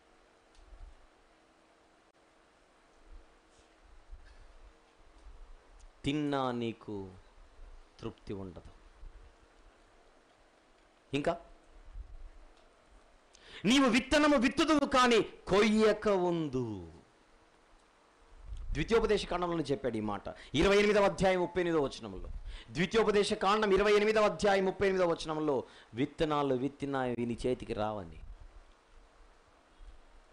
ఇర్మియా గ్రంథం పన్నెండవ అధ్యాయం పదమూడవ వచనం కూడా రాసుకోండి. ఇర్మియా గ్రంథం పన్నెండవ అధ్యాయం పదమూడవ వచనం కూడా రాసుకోండి. ఓలేవ పండ్లను ద్రాక్ష పండ్లను త్రొక్కుదువు కానీ తైలము పూసుకొనక ద్రాక్ష రసము పానము చేయక ఉందువు. ఏలైనగా మీరు ఒమ్రి నియమించిన కట్టడలను ఆచరించవచ్చు అహాబు ఇంటి వారు చేసిన క్రియలన్నిటిని అనుసరించవచ్చు వారి యోచనలను బట్టి నడుచుచున్నారు. గనుక నా జనులకు రావలసిన అవమానమును మీరు పొందగా మిమ్మును భీతి పుట్టించు జనులుగాను పట్టణ నివాసులను అపహాస్యాస్పదముగాను చేయబోచున్నాను. తీర్పిది. తీర్పిది. నేను చూడలేని కార్యాలు భరించలేని కార్యాలు మీ మధ్య నాకు కనబడుచున్నవి. ఒమ్రి ఏం చేశాడు? అహాబ్ ఏం చేశాడు తెలియాలంటే రాజుల మొదటి గ్రంథం పదహారో అధ్యాయం నుంచి ముఖ్యంగా ఒమ్రి నుంచి మీరు చదవాలంటే రాజుల మొదటి గ్రంథం పదహారు నుంచి రాజుల మొదటి గ్రంథం ఇరవై రెండవ అధ్యాయం వరకు. తర్వాత చదవండి. ఈ తండ్రి కొడుకుల చరిత్ర రాయబడి ఉంటుంది అక్కడ. ప్రత్యేకించి మొదటి రాజులు పదహారో అధ్యాయం ఇరవై ఐదు ఇరవై ఆరు వచనాలు స్పెషల్గా చదువుకోండి. మొదటి రాజులు పదహారవ అధ్యాయము ఇరవై ఐదు ఇరవై ఆరు వచనములు.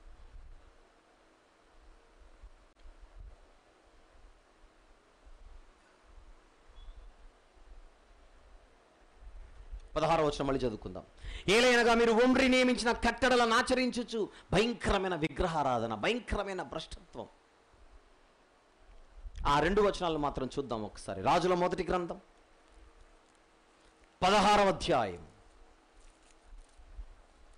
రాజుల మొదటి గ్రంథం పదహారవ అధ్యాయం. ఇరవై ఐదు ఇరవై ఆరు వచనములు. ఉమ్రి యహోవా దృష్టికి చెడుతనం జరిగించి తన పూర్వీకులందరికంటే మరి దుర్మార్గంగా ప్రవర్తించెను. అతడు నెబాతు కుమారుడైన ఎరోబాము దేని చేత ఇస్రాయిల్ వారు పాపం చేటుకు కారకుడై దేవతలను పెట్టుకుని ఇస్రాయిల్ దేవుడైన యహోవాకు కోపం పుట్టించెనో దానిని అనుసరించి ప్రవర్తించెను. అది కొడుకు కూడా కంటిన్యూ చేశాడు. అది కుమారుడు కూడా కంటిన్యూ చేశాడు. గనుక నా జనులకు రావలసిన అవమానమును మీరు ఖచ్చితంగా పొందేదరు. కట్టడలు ఇచ్చింది మీకే చట్టాన్ని ఇచ్చింది మీకే. ఆ చట్టాన్ని అతిక్రమిస్తే తీర్పులు కూడా మీకే. మిమ్మును భీతి పుట్టించు జనులుగాను పట్టణ నివాసులను అపహాస్యాస్పదముగా చేయబోవుచున్నాను. చెప్పాడు ముందే పది మంది నవ్వుకునేలా మీ చరిత్రను రాస్తానని చెప్పాడు ధర్మశాస్త్రంలో కూడా. పది మంది హేళన చేసేలా మీ చరిత్ర ఉంటుందని చెప్పాడు. రాసుకోండి వచనాలు. ద్వితీయోపదేశ కాండం ఇరవై ఎనిమిది. ద్వితీయోపదేశ కాండం ఇరవై ఎనిమిదవ అధ్యాయం ముప్పై ఏడవ వచనము వ్రాసుకోండి. హేళన పాలు చేసేదను అని రాస్తాడు. ఇరిమియా గ్రంథం ఇరవై ఐదవ అధ్యాయం తొమ్మిదవ వచనం. ఇరవై ఐదవ అధ్యాయం తొమ్మిదవ వచనం. ఏంటి తీర్పు? మిమ్మల్ని చూస్తే పది మంది హేళన చేసి అపహాస్యం చేసేలా మిమ్మల్ని నేను తొక్కేస్తానని చెప్పాడు. ఎందుకు ప్రభా ఇంత కోపం అంటే చెప్పాడు చిట్టా అంతా. అన్యాయం అక్రమం తక్కేడ నుంచి అంతఃపురంలో జరిగే ప్రతి కార్యక్రమం వరకు అన్ని చోట్ల అక్రమాలే అబద్ధాలు కపటం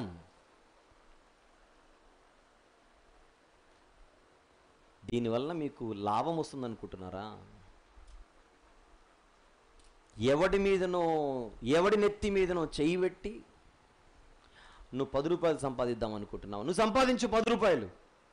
నీ దగ్గర ఉన్న వెయ్యి లాక్క లాక్కోకపోతే నన్ను అడుగు. నువ్వు కొట్టేసింది పది నీ దగ్గర లేపేది నిన్ను వెయ్యి అంటున్నాడు దేవుడు. ఇది అక్షర సత్యం. ఇది అక్షర సత్యం. మన సొమ్ము రూపాయి అయినా దాంతోనే బతకాలి. ఎవడినో ముంచి నేను బతకాలనుకుంటే బాగుపడే పరిస్థితే ఉండదు. ఇది దేవుని గ్రంథం చెబుతున్న మాట చేస్తున్న హెచ్చరిక.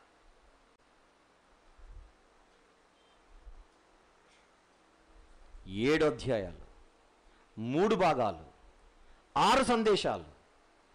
ఇది ఐదవ సందేశంలో ఉన్నాం. ఐదవ సందేశంలో ఏమిటిది? Part one. పార్ట్ వన్ ఇది. తీర్పును గూర్చిన దేవోక్తి. మూడవ దేవోక్తి. పార్ట్ వన్లో section A and section B. ఇక మనకు పార్ట్ టూ ఉంది. తర్వాత ఆరో సందేశం. దీనంతటి కలిపి ఒక అరగంట మనకు అవసరం. ఒక ఐదు నిమిషాల బ్రేక్ తీసుకొని త్వరగా కూర్చుందాం. చిన్న ప్రార్థన. ప్రేమగల తండ్రి కృపగల దేవ ఇచ్చిన సమయాన్ని బట్టి మాకు ఇచ్చిన ఈ మాటలను బట్టి స్థుతులు చెల్లిస్తూ మరికొన్ని మాటలు మాట్లాడుకున్నట్టుకు సిద్ధంగా ఉండగా సహాయం చేయమని. యేసు ప్రభు వారి పవిత్రమైన నామములు ప్రార్థన సమర్పిస్తున్నాము స్వామి. ఆమెను.